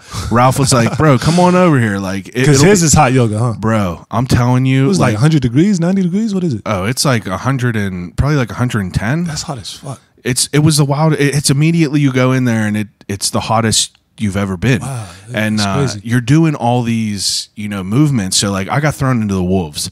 You know, the first time I ever did yoga was actually Ralph came to my house and uh, gave me like uh, you know it was before I interviewed him the first time. It was right before I interviewed him. I was like Ralph. Come on over, you know. We'll do like a little thing in the in the living room, which Uh-huh. wasn't hot, obviously. And then we just interviewed about his life and how he went from being someone that was fat as fuck that changed his life Yeah, yeah, yeah. I, I listened to that one too. and and like he has such like an inspiring story because it's like you know it's almost like it, it's so easy to to keep to the regularly scheduled program you know smoking weed listening to music working just your nine to five but like something about him wanting to pull out of that and get into something different it like snaps something into my mind where i'm just like you know like there's other shit that is that is possible to do and oh, it's yeah, like sure, man. There's so know, much shit out there. deep. You can So get deep, shit, and it's man. just however. And we live in this world where we can look up anything we want from this phone, and it's so crazy. But uh, I feel like the heat is like what gets me to be able to, uh, almost like a med- meditative state because Oh, it's cool. like it's interesting. I'm interested to see. Uh, you you should definitely do a hot one and, and see what's. Yeah, I want to. I want to. Actually, Amazing Yoga is, from what I heard, like all hot yoga. Oh, but yeah? like yeah, COVID was around, so um, we did our shit over Zoom for like a week. And um, yeah, I've never done hot yoga, and that was my first time even doing vinyasa yoga. I'm just gonna be honest, dude. I got the scholarship; they offered the scholarship, and I've never done vinyasa yoga. Yeah. Um, I went to one class before the training was going to start, like the following Monday, and that was my first time doing vinyasa yoga, and that shit, the vinyasa flow yoga. Yeah. That shit was hard, bro. It's It was- hard. It was not easy. It's hard. you get out of there and you're fucking sweating. You feel like man, you did crazy. a workout. That whole week when I was doing yoga, like the training, it was like six hours of fucking That's yoga. what I was gonna ask. Like, Oh, is man. it is it like it's every day? It's almost like a job, right? Yeah, it was every day. It was every day. Um, that shit was hard, bro. I would wake up at eight, and I wouldn't be done till like two thirty. That's wild. Just doing yoga. Like we would start doing yoga, and then we would go through it like three more times, and then do each pose. Now, where does it come from with you with wanting to, you know, like there's people that could want to research things and get into it, and people that could just practice yoga themselves. But where's the want for you to like want to be a teacher come from? Um, because I just know this was part. This is part of my path. Yeah, This is part of my path. You know. that's a good answer. Um, yeah, because I mean, I. I like I've I've I could definitely see people like I see people in the same yoga class that we would go to Mm-hmm. and it's like uh, there was this girl that was there every single time I ever been there and she's nasty at yoga doing wild shit crow like it's nothing side crow and uh, I could do the crow, but I can't do the side crow. I can get the crow now. for about three seconds Yeah, I could get it for like twenty now. I can get it a little like, bit, one or two. but it's like seeing other people that are like devoted that you're like, oh, she's fucking practicing this at home, and there's people that like want to just do that for themselves and have that as their own thing, Mm. and just be a be someone that participates, and then there's someone that has a want to. You know, communicate that to someone else, and like I think that uh, it was interesting to hear about Ralph because it's like, you know, it made you like want to communicate this, and the way he spoke about, you know, the way it it helps your mindset and the way mean, that it it helps does, your yeah. body. You know, it just makes you, you know, it's almost like having a good uh, school teacher. You know, if you got someone that's whack, you're like, fuck, I don't want to be in this Mm. Class. right, yeah, for But if you got a good teacher, you're like, man, this person makes me excited about learning. Yeah. Makes me want to learn more about it. for me, to be honest, bro, like there was an opportunity, and I'm an opportunist. Yeah. After I investigate something, so I was like, ah, you know what, it's free. Let me just go ahead and apply and Yeah. see what happens. So they gave it to me, uh, but also uh, beyond that. It was another healing modality that I can use to help heal people. I like that. I'm here to be a healer. Like I, I recognize this uh, early on in my spiritual journey. Yeah. Like this is what I want to do full time. I don't want to do the tech stuff. I want to do the healing full time, and I'm working my way up to that point.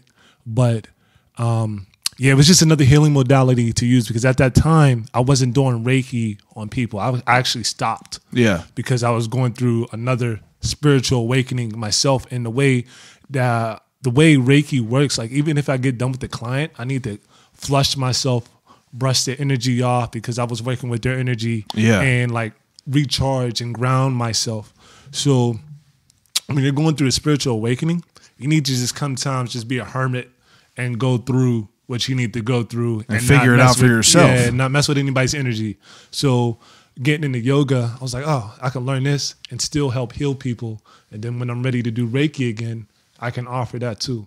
Ah. So yeah, man, it's just another healing modality. And uh, you know, like right even right now, I'm learning how to do astrology, uh, be an astrologer. I saw you on Facebook. You're like, give me your your uh, birth date, and you're like, I'll get back to you. Yeah, yeah, yeah. So you know, um, there's a there's a few tools under the belt, man, when it comes to the spirituality, and I'm trying to be that guy. I'm I'm not even gonna say trying because I actually took that on my vocabulary um, because words have spells. So I'm going to be that guy that has uh, you know the yoga, the Reiki. I want to be a Reiki teacher, like the Reiki master teacher. Um, you know, astrology, um, a couple different things that resonate with me. I'm going to learn them so I can offer them to other people because it all helps to heal. Yeah. You know what I mean? Now, uh, this is this is still on topic, but kind of off. Yeah, now, do you have do you notice any sort of difference with you writing your lyrics and you know uh, rapping and shit like that after you've been into this like spiritual, you know, this spiritual yeah, stage? yeah, like, yeah, yeah. obviously, if you listen to a lot of your old raps, it's like there's a lot of like, you know, hurt, anger, It's all that. it's raw, yeah, dude. It's for raw. Sure, for sure. That shit's raw. Um, so that is an excellent question. Excellent question, my man. Um, so Hollywood divorce, super raw. All the other stuff before that, it's raw. You know, one foot in the streets, one foot out the streets, just talking about shit. Yeah. But um, my new music though is gonna it's definitely gonna sound it's still gonna be Jon Quest, but it's gonna be, you know, the Elevated. Yeah, the elevated, the conscious, the, the more deeper Jon Quest. Heady it's- type it's- shit. It's, still gonna be Jon Quest though. Yeah. Like, you know, you're still gonna do the storytelling. Well, that's what makes you professional. Um, you, you you you can incorporate the environment and your experiences in life Mm. in the same way without being, you know, it keeps you authentic. Yeah, man. That's all I'm trying to do. Now there's also going to be, you know, I'm not gonna sit here and be like I'm a fucking guru because I'm still a wild dude. Yeah. but you know i'm just i'm going to be talking about things that happened after my divorce Yeah. and uh, that's what i like to do so just to give you an example um, there's a song that i really like it's called 1111 Yeah. um, but you know how you see 1111 on the clocks and Yeah. like, but that's what it's, that's what it's about the synchronicities the times that y'all are all seeing and it's my story about how when i was going through my spiritual awakening like shit was going I was seeing fucking spirits and shit that's coming at me and I'm like damn I'm seeing the clock says 1111 now it's 333 like oh fuck I'm kind of going crazy but I got to go through it like Yeah. talking to my spirit guides like you're going to hear a song like that Yeah. uh, you'll hear a song about the time in Amsterdam when I took the psychedelics on my first trip um, you know shit like that you know what I mean Yeah, that's interesting to uh that's interesting. So you're tripping Amsterdam. You're wearing a you're wearing a t-shirt with a mushroom on it right now.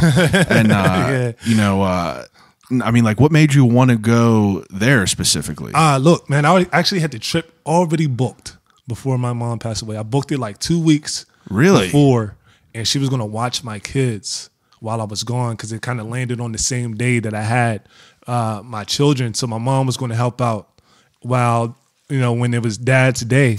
Um, but she passed away, and thankfully, the the mothers of my children yeah. They were like, "Yo, we'll watch them if Go you still want to go." Yeah. And I was like, "You know what? I'm not going to stay here. I'm just going to go." So I went, and I was I was that. It was my first time in Europe. It was No. a crazy time in Europe, though. I bet it was. I Oh, mean, I hear uh, my boss from work, he grew up in Amsterdam. Uh, so he knows And that. yeah, he would tell me wild shit. Uh, yeah, Amsterdam was fucking wild, bro. and I, I have friends that traveled over there and told me wild shit. My uh, my cousin was stationed over in England, and they traveled to Amsterdam, and like you know, if he's in the military. You can't have no. Uh, can't have you can't smoke no weed or nothing like that. So they ate mushrooms, and he was like, "Dude, I ate the, like he was like, I went to a coffee shop, and there was a coffee shop. It was basically like a you know weed dispensary. They just have a different Yeah, they got all different, different- mushrooms, and different he, they bought mushrooms, laughing mushrooms.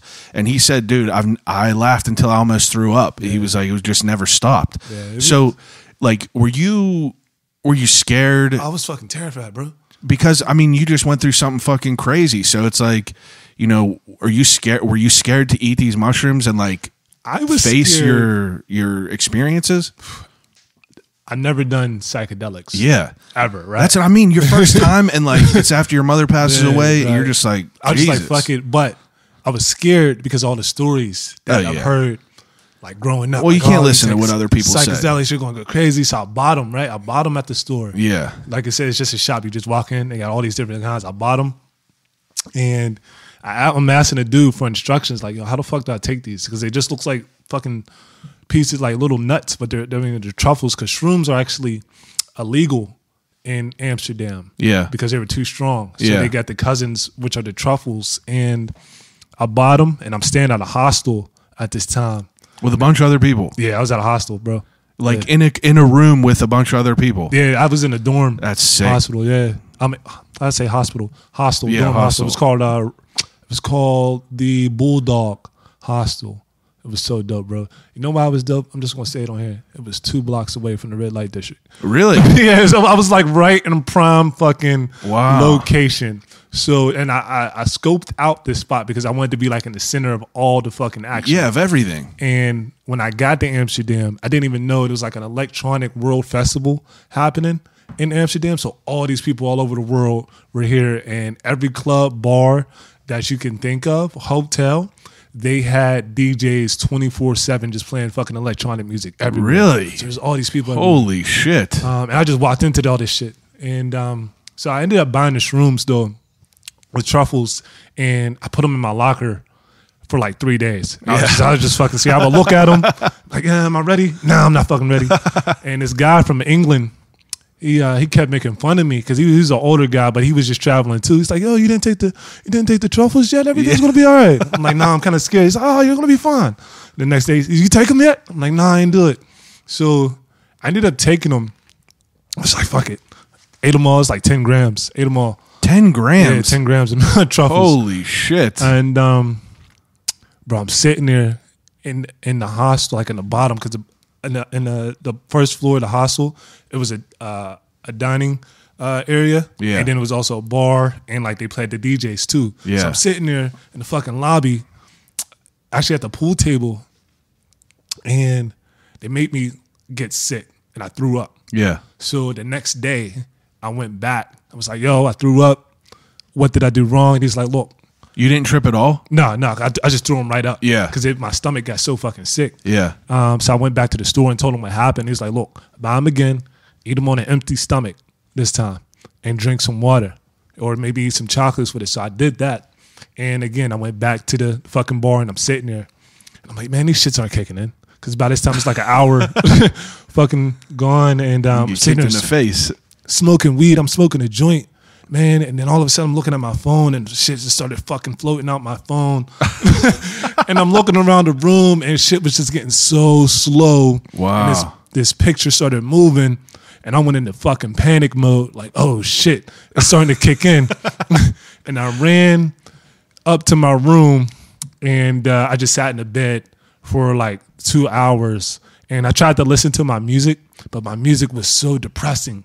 It was so much hurt Yeah. and anger. I couldn't even listen to it. So I put Yeah. some Bob Marley, and this this uh, this young lady, she came in to the room, and um, actually before I even go to that, I'm sitting in the bed, and there was only there's one guy uh, in the room. And there's eight beds in the dorm room that I'm sitting in. Yeah. Um, so the guy didn't speak English. He had his headphones on, watching a fucking movie on Netflix. So I go to the bathroom and shut the door. As I'm sitting there taking a piss, I hear a fucking voice pop up like, "Hey, can I lick it again?" It was this woman. I got super fucking scared, and that's when I went into my bed and just sat there in the corner, like, "Yo, I'm fucking tripping crazy." Um, so then, this girl came in with her luggage. She, her fish on the luggage was like fucking floating and shit. And I went back downstairs after like a couple hours, and um, it just started intensifying more and more. Yeah. And I put out a uh, a call on Instagram, like, "Oh fuck, I took these shrooms. I don't really think I like this shit right now. Like, I don't know what to do." And two of my friends from Pittsburgh hit me up, and were like, "Yo, it's okay. We're gonna walk you through it."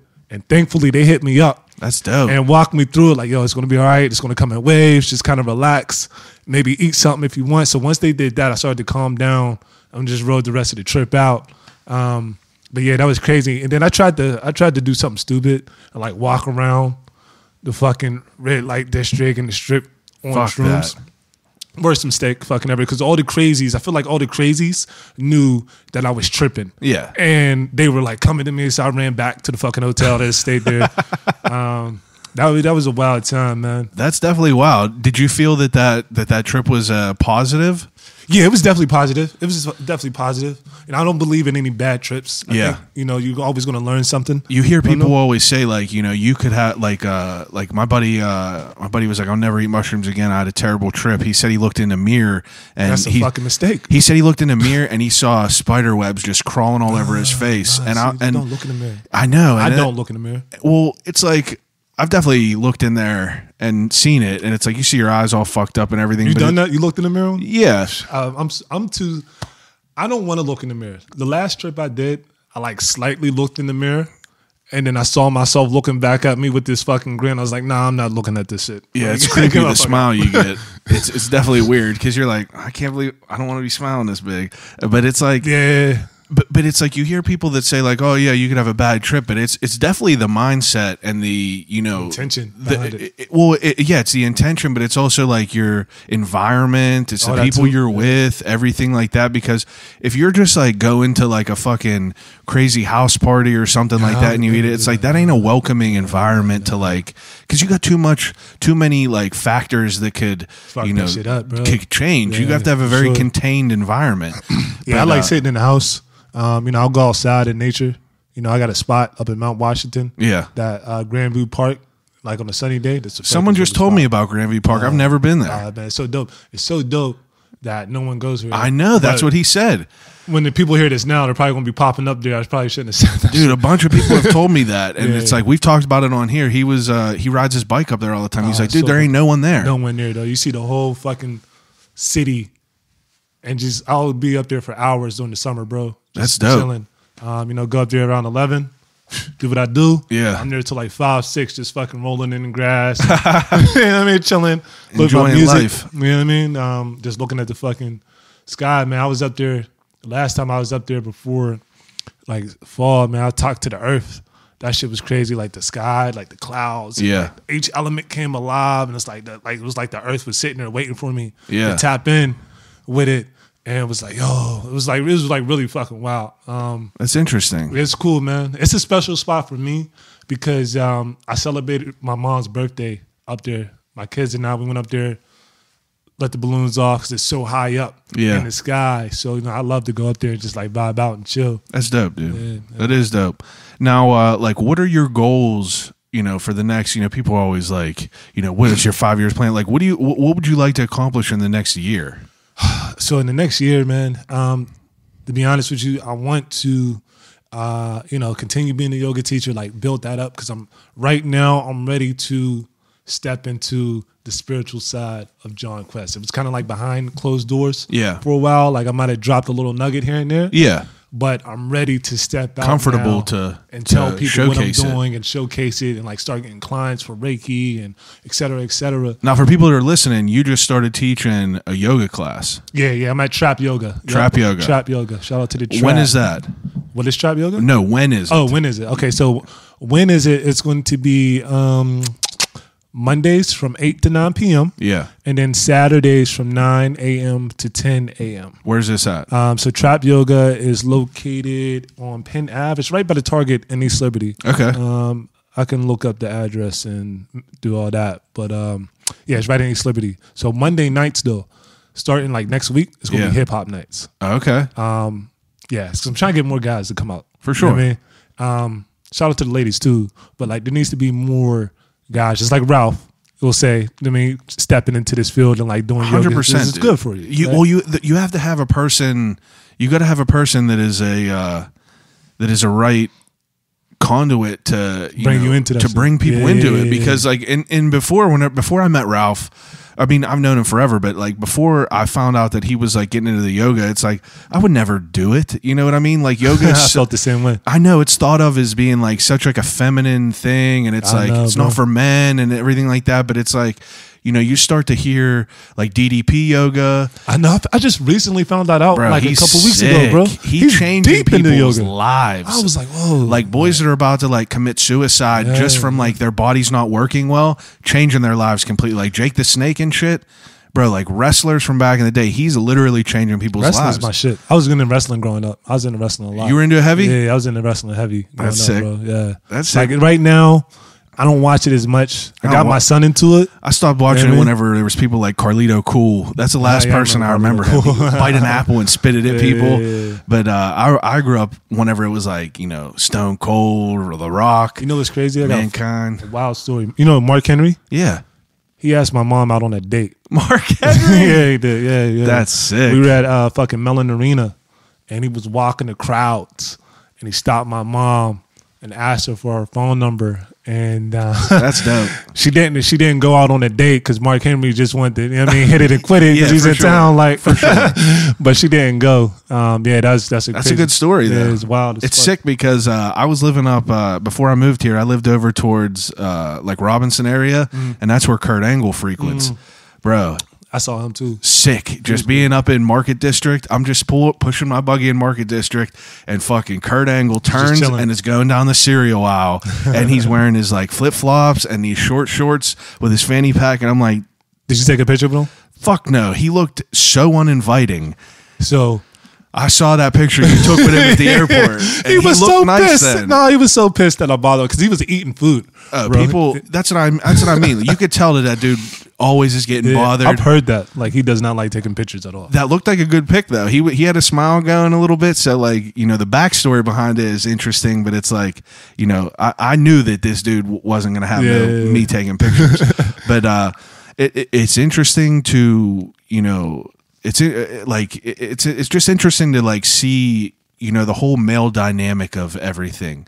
You know what I mean? Like it's such like a you know, like I have do I have friends that are like, yeah, I ain't doing no yoga. That shit's weak. It's for females, everything like that. and it's yeah, like, bro, yeah. like I'm telling you, like it'll change your For life. sure, bro. And uh, I think there just needs to be more people that do it. And that's like what made me want to have Ralph on here Mm-hmm. and talk about it because, like, you know, I like to I like to use you know this platform to you know kind of expose dope shit and Nah, preach yeah, it to the sure, masses For sure, for sure. and I feel that you know people like if people that I'm friends with hear me talk about it in a certain way, it might feel all right for them to want to try it and like kind of get into it a little bit more. Mm. And I think that people who listen to this, you know, might feel that same way because you know, we talk about you being part of like this crazy popular hip hop duo and it's like, you know, have that that chapter of your life and then being okay with like, you know, saying, you know, like, you know, I wasn't in a good place and like, you know, wanting to have this,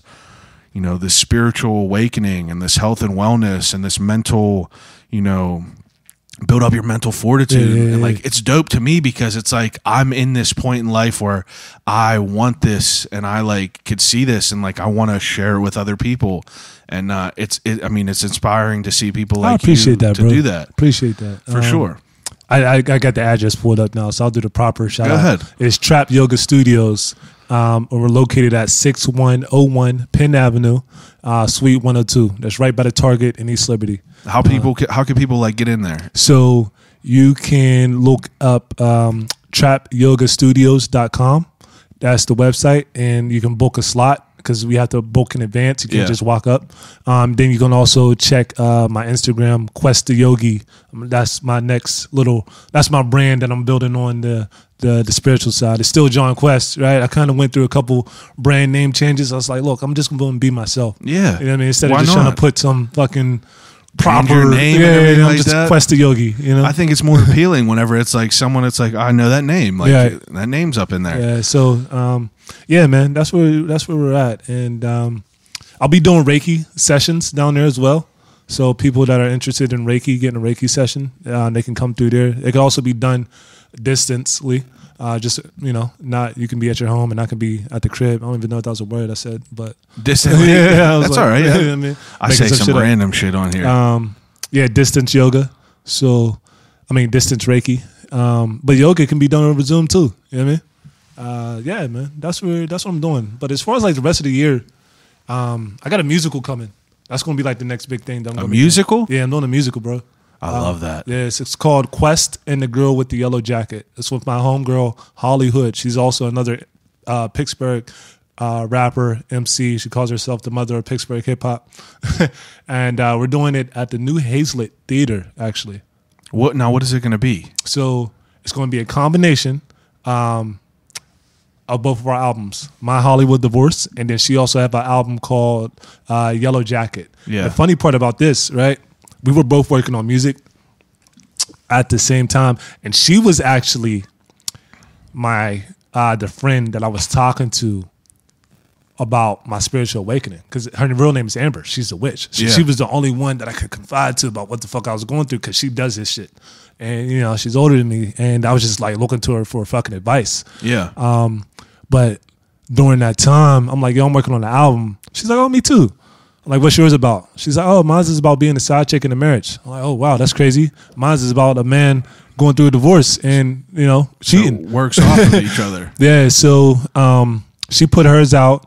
I put mine out. This is completely random, like a month back to back, a month apart. I mean, and uh, there was a grant application opportunity that we applied for. Yeah. and we the idea was to combine both of our albums and tell one love story. So we got selected along with four other Really? uh, yeah musicals productions. That's Um, dope. so yeah, it's for the CSA uh, 2021 at the New Hazlett Theater, and there's five different productions. They're all dope. Um, if you go to the New Hazlett uh, Theater website, you can just Google it because I don't remember it right Yeah. now. But you'll see us on the on the page, and our show is going. To, it was supposed to be January, um, like next week actually, but it got moved to May 20th and the 21st uh, because of COVID. yeah. Um, so yeah, we're combining both of those. We're actually writing a script. We have a uh, there's T.J. Parker Young. He's our dramaturg. I don't even know what a dramaturg was, bro. It's somebody that helps Turk? you. Is that what you said? dramaturg? Dramaturg. Yeah. Wow. Um, this is someone that helps you write. They're like a playwright. They help you write the script and stuff. In that like format, you know, the right format. Right, You communicate it to them and they tell you how to communicate it. right to the theater. Ah. Yeah. Like we have a whole squad, bro. We got a scenic designer, lighting designer, That's crazy. um, videographer. We got a carpenter to build the set. You ever do any shit like that in high school? Like Nah, any bro, plays this- or anything? This is my first time, bro. That's one thing I've I talked about on here numerous times. It's one thing that I regret more than anything is never doing any sort of like, Mm. you know, like being in any of the plays in high school and shit because like why not, right?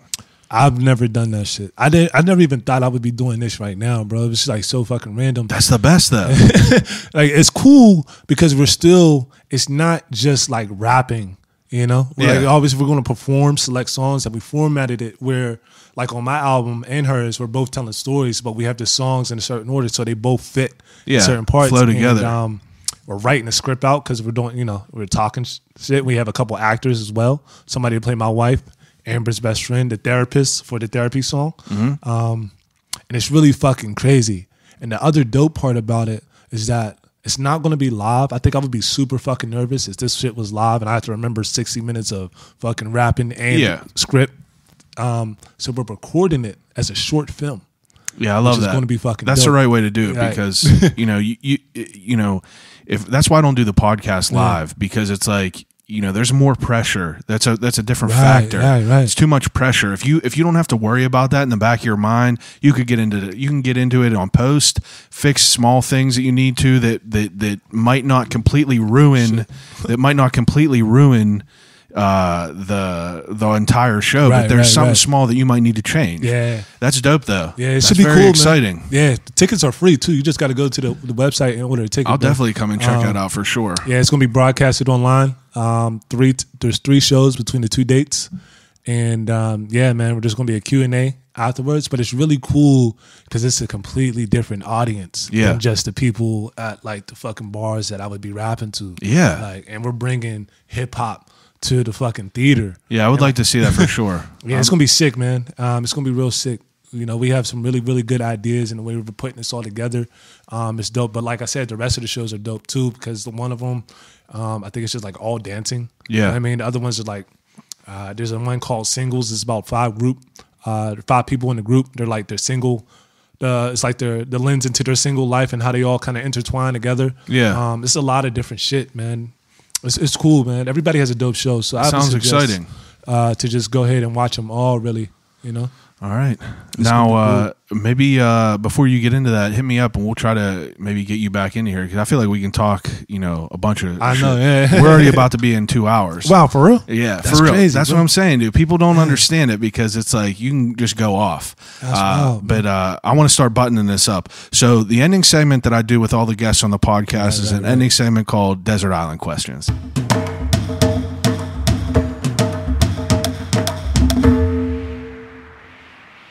Okay. Desert Island Questions. This is my favorite part because like we learned about your life, Mm-hmm. learned about everything like that, deep shit.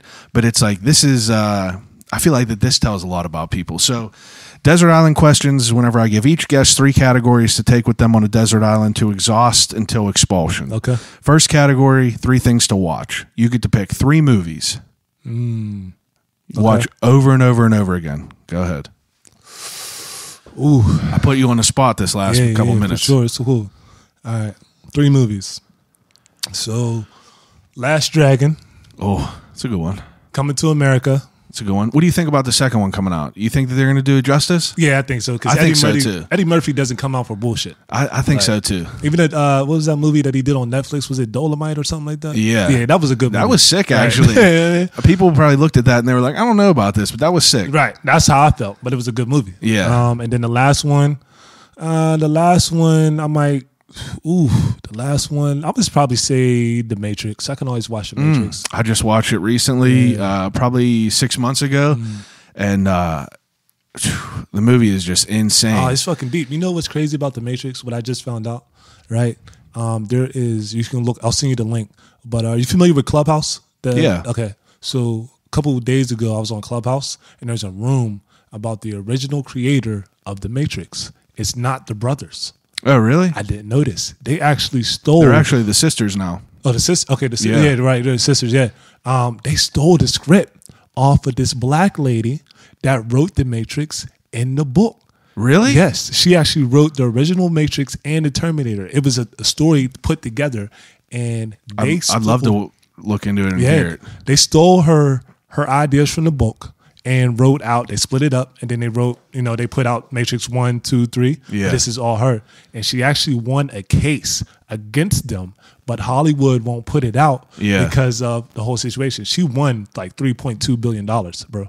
That is sick. Yeah, I'll send you the information. I just found she did a whole talk about this shit for like six hours, bro. That is Crazy. sick. I had no idea about Yeah, I that. didn't know until like I couple remember seeing The Matrix back whenever I was like, I think it came out whenever I was like eight or nine, and like I remember seeing it in the movie theater, like midnight release, and just thinking like, this is so fucking sick. But it was all because of the action. But now I'm a little bit older and I watch it, and I'm just like, Mm-hmm. it's God. It's a lot of like, messaging in. Still holds up. It definitely still holds up. I'm excited to see the next one come out. Yeah, I'm excited too. Even though they, you know, what I mean, she said, "Look, I wrote it." I know they, they stole that shit. That's but, sick. You know what I mean, That's sick that that that that uh, that that happened. I had no idea about I that. I had no idea, bro. Okay, so that's good. So you picked uh you picked uh Coming to America, you picked The Matrix, And Last Dragon. Last Dragon. Yeah, yeah, yeah. Those are good. I like them. I like them. Okay, uh so the second category is three things to read on a desert island. So you get to pick three books. Mm. All right, so The Alchemist. You ever read The Alchemist? No, but I know what it is. Yeah, yeah, I would take that. Um, You read a lot? I do now. Yeah. Before I really didn't. I was reading like technical books for work and shit. Yeah. But like now, I read a lot of spirituality books and like you know what I mean health and stuff like that. I read a lot more now. I need to read more. Um, I just have to be interested in it though. yeah, exactly. Because I could read something fifty times, and if I'm not interested, I just read Gucci Mane's book. It was incredible. I didn't read that one yet. Bro, it was so sick. right. It really was crazy. I gotta check that one out. Yeah, it was good. Um, so the Alchemist, The Power of Now, which is that's another uh, good book. Um, Eckhart Tolle, he wrote that book. Um, that's like a it's a spiritual book. Like you know, you're going through a spiritual awakening. It's about talking about uh, being in the present and not Yeah. really worrying about the past or the future. You have to just be in the power of now, the present. You know what I mean, and just kind of living in that because then you just let things flow. Yeah. Um, and then the third book, ooh, the third book, third book.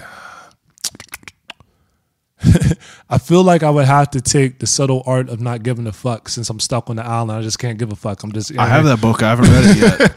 That's what I feel like I have to take. I'm someone who buys books and I'll just I'll go to Barnes and Noble, pop a quick check, and I- they'll just sit on my I do the same fucking thing, bro. I I, got so many books I did not read because So many. Barnes and Noble. when we were moving in here, man. my wife was like, "You ain't never read a fucking book." She was like, "Get rid of some of these." um, Something about it though. Yeah, I just I figure you know I always think like if the world ends, I'm going to read a bunch of books. But Mm-hmm. then here was a pandemic, and instead of reading a book, I was building puzzles. Nah, I um, I definitely do the same shit, man. That's all definitely. Do the same shit. That's all right. We're uh, inquisitive people. We'll get to it. Um, okay, so the third category. This is what I'm uh, most interested. Three CDs.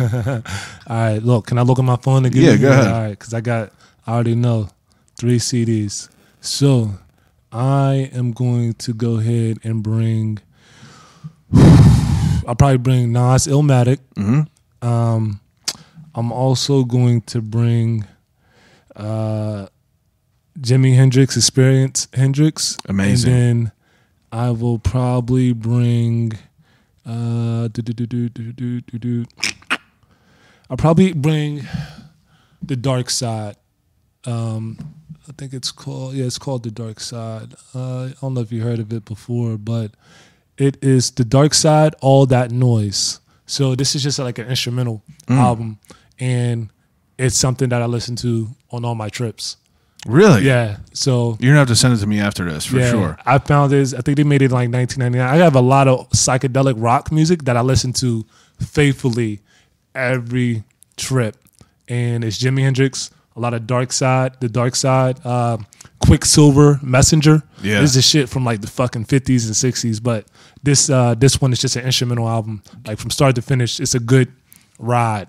all the way Jimi. Hendrix was sick. If you think about it, and uh, you know, I was reading a book about him, and they were saying that he used to pour acid all over his gum, his chewing gum, and just go out there and just like slip into a zone.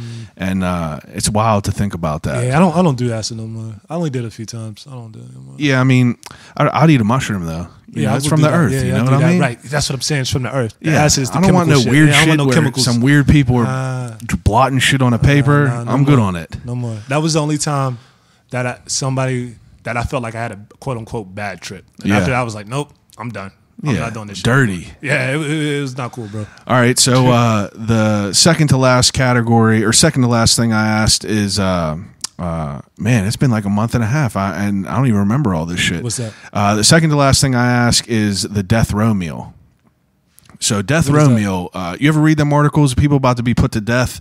They give them anything that they want to eat. Eat- Oh, okay, yeah, yeah, yeah, Yeah. yeah, yeah. yeah, so yeah. what would you eat?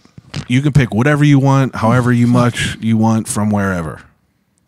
Um, I probably I probably have to go ahead and say a steak. Steak? That's probably the most Yeah. common answer. Steak, baked say, like, potato, and shit. Yeah, yeah. I need like a steak, baked potato, like some vegetables.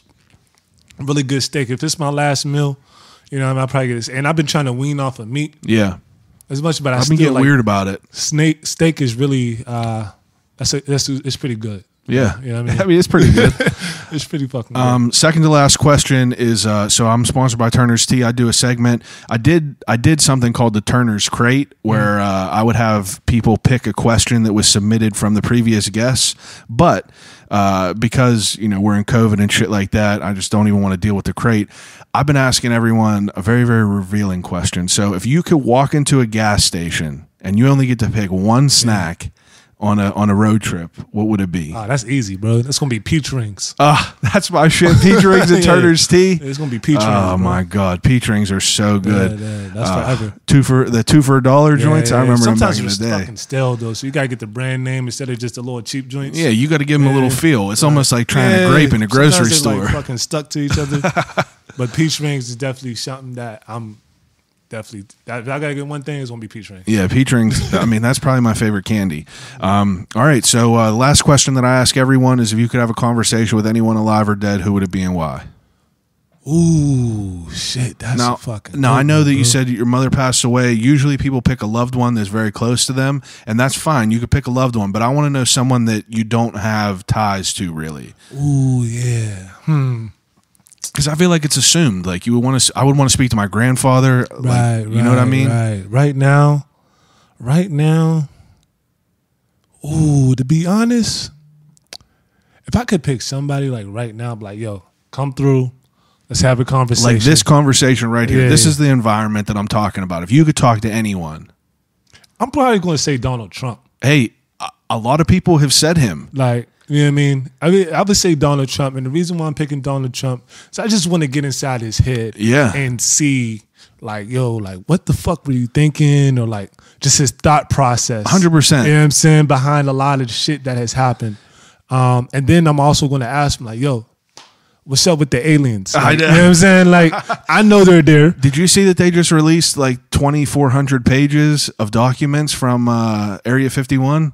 Just recently. Just like uh, I think this week. Like, Okay, because he, he was putting the pressure on them because they had to release something in like 120 days. About yeah, they they literally out. just released it like uh, thousands of pages. So man. I'm trying to get deep into that. So um, I know we're wrapping up, but I definitely had several encounters. With aliens? Yes, sir. I ain't scared to talk about it. I, I mean- I I saw, you know, I'm I'm someone who uh, I don't have any reason to lie about it. You Right. know what I mean? And uh, I I never seen anything that I could not explain as far as like ghosts or anything like that. Me and my wife went down to Moundsville prison. I seen a ghost with my two eyes that I always wanted to go down there. bro it was uh it was wild because you know i think like you know i would be terrified and everything like that but it was just i was more curious Mm. it's like i saw this ghost walk across and then we walked into the room that that person that i saw walk across no one there No one there. and it's like I, I still can't explain it. Uh, as far as aliens, 100% I believe in aliens. Uh, whenever I was probably like 14, my cousins live up by Seven Springs, 60 acre farm. You know, Mm. That's where they like to be. we couldn't drive or nothing so like we would always just be out in the driveway shooting hockey skateboarding whatever and uh out in the distance i saw a blinking red light and you think it's like a cell tower or some shit like that and uh, you know it was something that you know we never we never like we never like saw or anything like that and then i ask him and i go what's that light over there and he's like i don't know i never seen that so like we're we're out there for like a half hour just looking at it and um I, you know, they had a telescope, so he went in and I was like, "Go get your telescope." So I swear to, I swear to God on everything. As soon as we put that telescope down and I started moving it over to that light, I swear to God, shot up right in the air Yeah, and uh, disappeared. Still can't explain it. I got no reason to lie about I, it. I believe you, bro. You've been seeing some aliens? I definitely. Um, there was two times when I lived in like the Penn Hills area. Yeah. That you know, uh, a UFO had a slight encounter with that. I was with my friend Ron. We were driving from like Penn Hills. We were driving from Plum into Penn Hills, but like the back roads. Yeah. And I was in my mom's Jeep and it was like fucking storming, raining really fucking hard. And the rain just stopped, bro. But we could see it. We could see the rain like 10 feet in front front, of of, us. Yeah. But it stopped hitting the fucking Jeep. And we look up as we're driving. There's these fucking, there's like, like six or like eight little lights just over in like the circular motion. And we're driving like, yo, what the fuck is that? And again, there's no other cars around. We're like in the woods, the back roads. right? Yeah. So it's like that for like 30, 45 seconds. And then it takes off and the rain just hits us again. And we weren't under no bridge or anything when that shit just went off. And then we kind of seen it as we're driving. It kind of like followed us a little bit and then it just zipped off. Um, there's another time too, but even like, even on the shrooms, like, you know, you're going to definitely encounter different entities For and sure. things like that. But um, so yeah, that was definitely um, two times where I was like, yo, this was crazy. But you know, just experimenting with other things, stuff likes to pop up. I'm very open to a lot of stuff. Like even today, Open minded. even just like open spiritually, like my light, Yeah. bri- my it shines so bright, um, because I'm a healer naturally, and the shit just like they like that, you know, the light. And um, just today, man, I was at work, like I'm working from home, my fucking lights are like flickering like crazy, so I already know something is here. Yeah. You know what I'm saying? Um, I get in my meditative state. I'm like, yo, who is this? And I saw a man, but he wouldn't show his face or give me his name. But I knew that he wasn't here for a good reason. He was just like a mischievous, you know, uh, fuck, I'm fucking up words again. You know what I mean? Demonic, whatever. Yeah. Well, no, I'm, I'm not gonna say demonic, right? I'm not gonna say demonic because like it's different levels to it. But he was just a lost spirit, Yeah. like a dark energy, and he was just trying to feed off of my my light. Ah, So I get what you're saying. you know what I mean? They're attracted to your light. Yeah. And I'm working. I'm like, ah, I got to send you along your way. So, you know, what I did, I go to my altar, get into my meditative state, call into my gods, and had to cross them over into the light and get them out of, you know, being stuck from here. Mm. But like, it was like crazy as fuck because I was sitting there working. And uh, Is this shit scare you ever? it did the first time. Yeah. It did the first time. But that's the thing. They feed off of fear. Yeah. And we're much more powerful than them. The fear is what they feed off of. and that grows once they get a taste of it. Right, yeah, they're just they're going to fucking play off of it. Because Yeah. I do have a scary story where I was like fucking terrified. Yeah. some shit happened. Um, it's like the poltergeist actually. Uh, like the shit came out the TV, You- bro. This happened to you? Yeah, bro. How, how old were you? This was like two years ago. No, this was uh, was this twenty twenty one? This was twenty nineteen.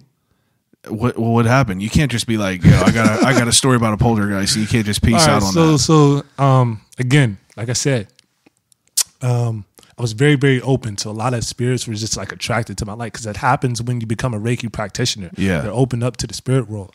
So um there was this little girl that was in my apartment building. She was a, a, a spirit, and I didn't know it was a little girl at first. But like one night, I was just trying to chill in there, and I just heard like fucking footsteps, like you know what I mean, in the middle of the night. out. In the middle of the night, and I'll then move my house out. yeah, so my kids, like the next day, they're like, "Daddy, somebody called our name. This little girl called our name, and it's just us chilling there." So I went to my teacher. I'm like, "Yo, I think I have something." In my house, because he deals with this stuff all the time. He's Yeah. a shaman. Yeah. And uh, he's like, all right, well, you might want to make contact with her, see what she wants. She might need your help, or, you know, she might not want anything. So that's what I did. I made contact. This is new to me. I'm just kind of excited too. Made contact with her. End up finding her name. She died. Her name was Sarah. Uh, she was like five years old, bro, and she died in a car accident in like 1968 or so. And I got all this information from her because I was talking to her, and she wanted help to be crossed over into heaven because she's been stuck here. So when you Yeah. die, you, you only have like a few seconds to cross over, and sometimes you get stuck. She was stuck, and she wanted help because she noticed my light. So I ended up just googling some shit and teaching myself how to cross over the spirit, and the shit worked. That is ridiculous. Yeah, it's fucking wild. So it worked, right? And I got confirmation that it worked because my mom popped up the next day, like, "Hey, the little girl that you helped out, you did a good job. She's up here in heaven." Then my spirit guide also said the same thing. This was the first time I got introduced to my spirit guide. My spirit guide was working with my mom, Should give me chills. and um, my mom was like, "So now that you did that, right?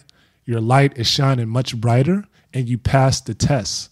But you need to be careful because there's going to be a lot of stuff that's going to pop up, and you can't trust anything. Yeah, try to deter you. Right. So the next day, bro, it's like three o'clock in the morning during the witching hour. I'm sleeping on my couch with my, my dog. Yeah. And I had the TV on. It was a black and like black and white movie, but the audio was down fucking low. So I woke up. Something just woke me up. And again, the audio was down to like level eight. You could barely hear. Yeah. And this guy on the TV screen, he had a tux on, fucking mustache with like a cigar. And the audio just turned all the way up. And this little girl's voice came out of the TV. It was like, hey, I hope we can still be friends. And it went back to like just being muted. And I'm like, yo, what the fuck is this? My dog is looking at me. And I just knew That is wild. like this is not her. Then I could just feel her poking at me, and I'm sitting there thinking like, yo, if I cross this little girl over into heaven, why the fuck is she back down here? Might be a bad you person. know what I mean? Yeah. And um, it ended up being some bad shit Yeah. because I made contact with it, and by doing that, I invited it into my home, and now this thing was in my crib for like three days, fucking with me and my kids. And um, again, I just had to go through boot camp and figure out how to get rid of the shit. And that's when I got over my fear because I was terrified at I first. bet. But I just was not going to allow anything to fuck with my kids. Yeah. You know what I mean? Do they have any sort of like traits that you that you would think that like they could see things or Yeah, tell? my, my son, um, Julian, he he has some gifts. Yeah. I really don't tell everybody that, but I'm gonna tell you. Yeah. Um, but he definitely has some gifts.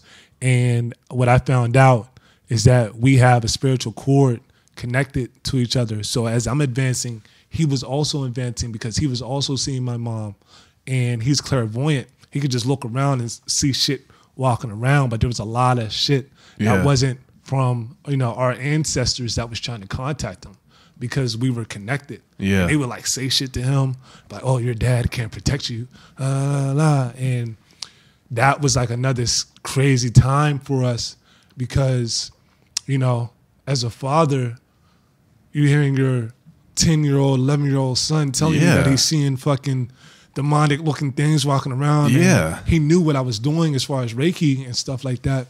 Um, so i had to learn how to shut all that shit down on him like turn his chakras. I had to block all i had to shut all that shit down shut all his gifts down. And uh, because he's too young. Like Yeah. some kids will go through that for their entire lives and like see that stuff. Yeah. but it was it's so traumatic to him and to me so i ended up learning how to shut all that down and you know things have been cool ever since Mm. um, but you know it's going it's going to pop up again when he gets older um, it's going to pop back When up he's more ready. yeah, it's gonna pop back. He's just like me. Yeah. Um, and again, uh, he has gifts. You know, he has gifts, and just from like the synchronicities that I've encountered in my life, meeting different psychics and stuff that they've been telling me about my life, and then the ones that I was talking to about how can I help him, they're like, "Yo, he's super, super powerful. Like you can either train him how to use his gifts." Or shut him down. And the best decision for us was to shut that shit down because I was also still learning Yeah, you're not- like going through my shit. You're not like a veteran to, Yeah, to be able to to deal with that battle Right. that would happen. Yeah, so um, it was the best thing, and he, and he was seeing my mom all the time, bro, like all the fucking time. And she was giving him messages, and he would tell me, and just like it was crazy. It's That's really wild, bro. Yeah, it's wild. I appreciate you like opening up to me and like you know like I said we ain't never met each other Yeah, you yeah, know like sure, I appreciate you opening up to me and like talking to me about all this and uh you know I think it's cr- I think it's crazy like not crazy I think I, that's a bad name No, that's that's cool, a bro. bad word it has a bad man. connotation but you know it is it's wild it's very Wild very shit. interesting though Yeah, it's wild shit. um you're more than welcome to come back anytime Oh, I would love to come back. you know man. I feel like we could uh Keep talking for hours, like- two hours right it's crazy. um, but uh, all right, take a second. Tell everyone where they could follow you. Tell everyone where they could get to your yoga classes Where, where, where, and all that. All right, cool. So, um, appreciate everyone listening. Uh, so, if you want to reach me, you can go to my website. Actually, it's www.whoisquest.com. That's Q U E S T, just who is, just like those two words all put together, whoisquest.com. And that'll take you to my music, all the stuff like my upcoming projects that I'm doing. And uh, there's soon going to be a, a yoga website, but I'm not done with it yet. Yeah. Uh, but whoisquest.com. And then, you know, I'm on Instagram, Jon Quest 412. But I also have Quest the Yogi. That's my other uh, Instagram account where I'm going to be posting a lot of my uh, my spiritual stuff. Uh, you know, yoga classes on both accounts. And then yoga is at Trap Yoga Studios, which is Mondays from 8 p.m. to 9 p.m. Um, and then Saturday from 9 a.m. to 10 a.m. And Mondays, I won't. I don't think it might not. It might not be every Monday, but there's going to be hip hop nights on Monday. It just really all depends on the mood and who's coming. Yeah. you know what I mean. Um, but I, I definitely believe like you can do yoga. That's why they call it trap yoga because they do yoga to trap music. Um, so you know, I love trap music, but I like hip hop. Yeah. So you know, we're going to be doing yoga to Griselda records and Benny the Butcher. that's how I do it in the gym. I'm listening to them doing yoga, like You can't. You can't beat it. I love it. go boom, boom, boom, boom, boom as we go into the our chair pose. Distinguished gentleman.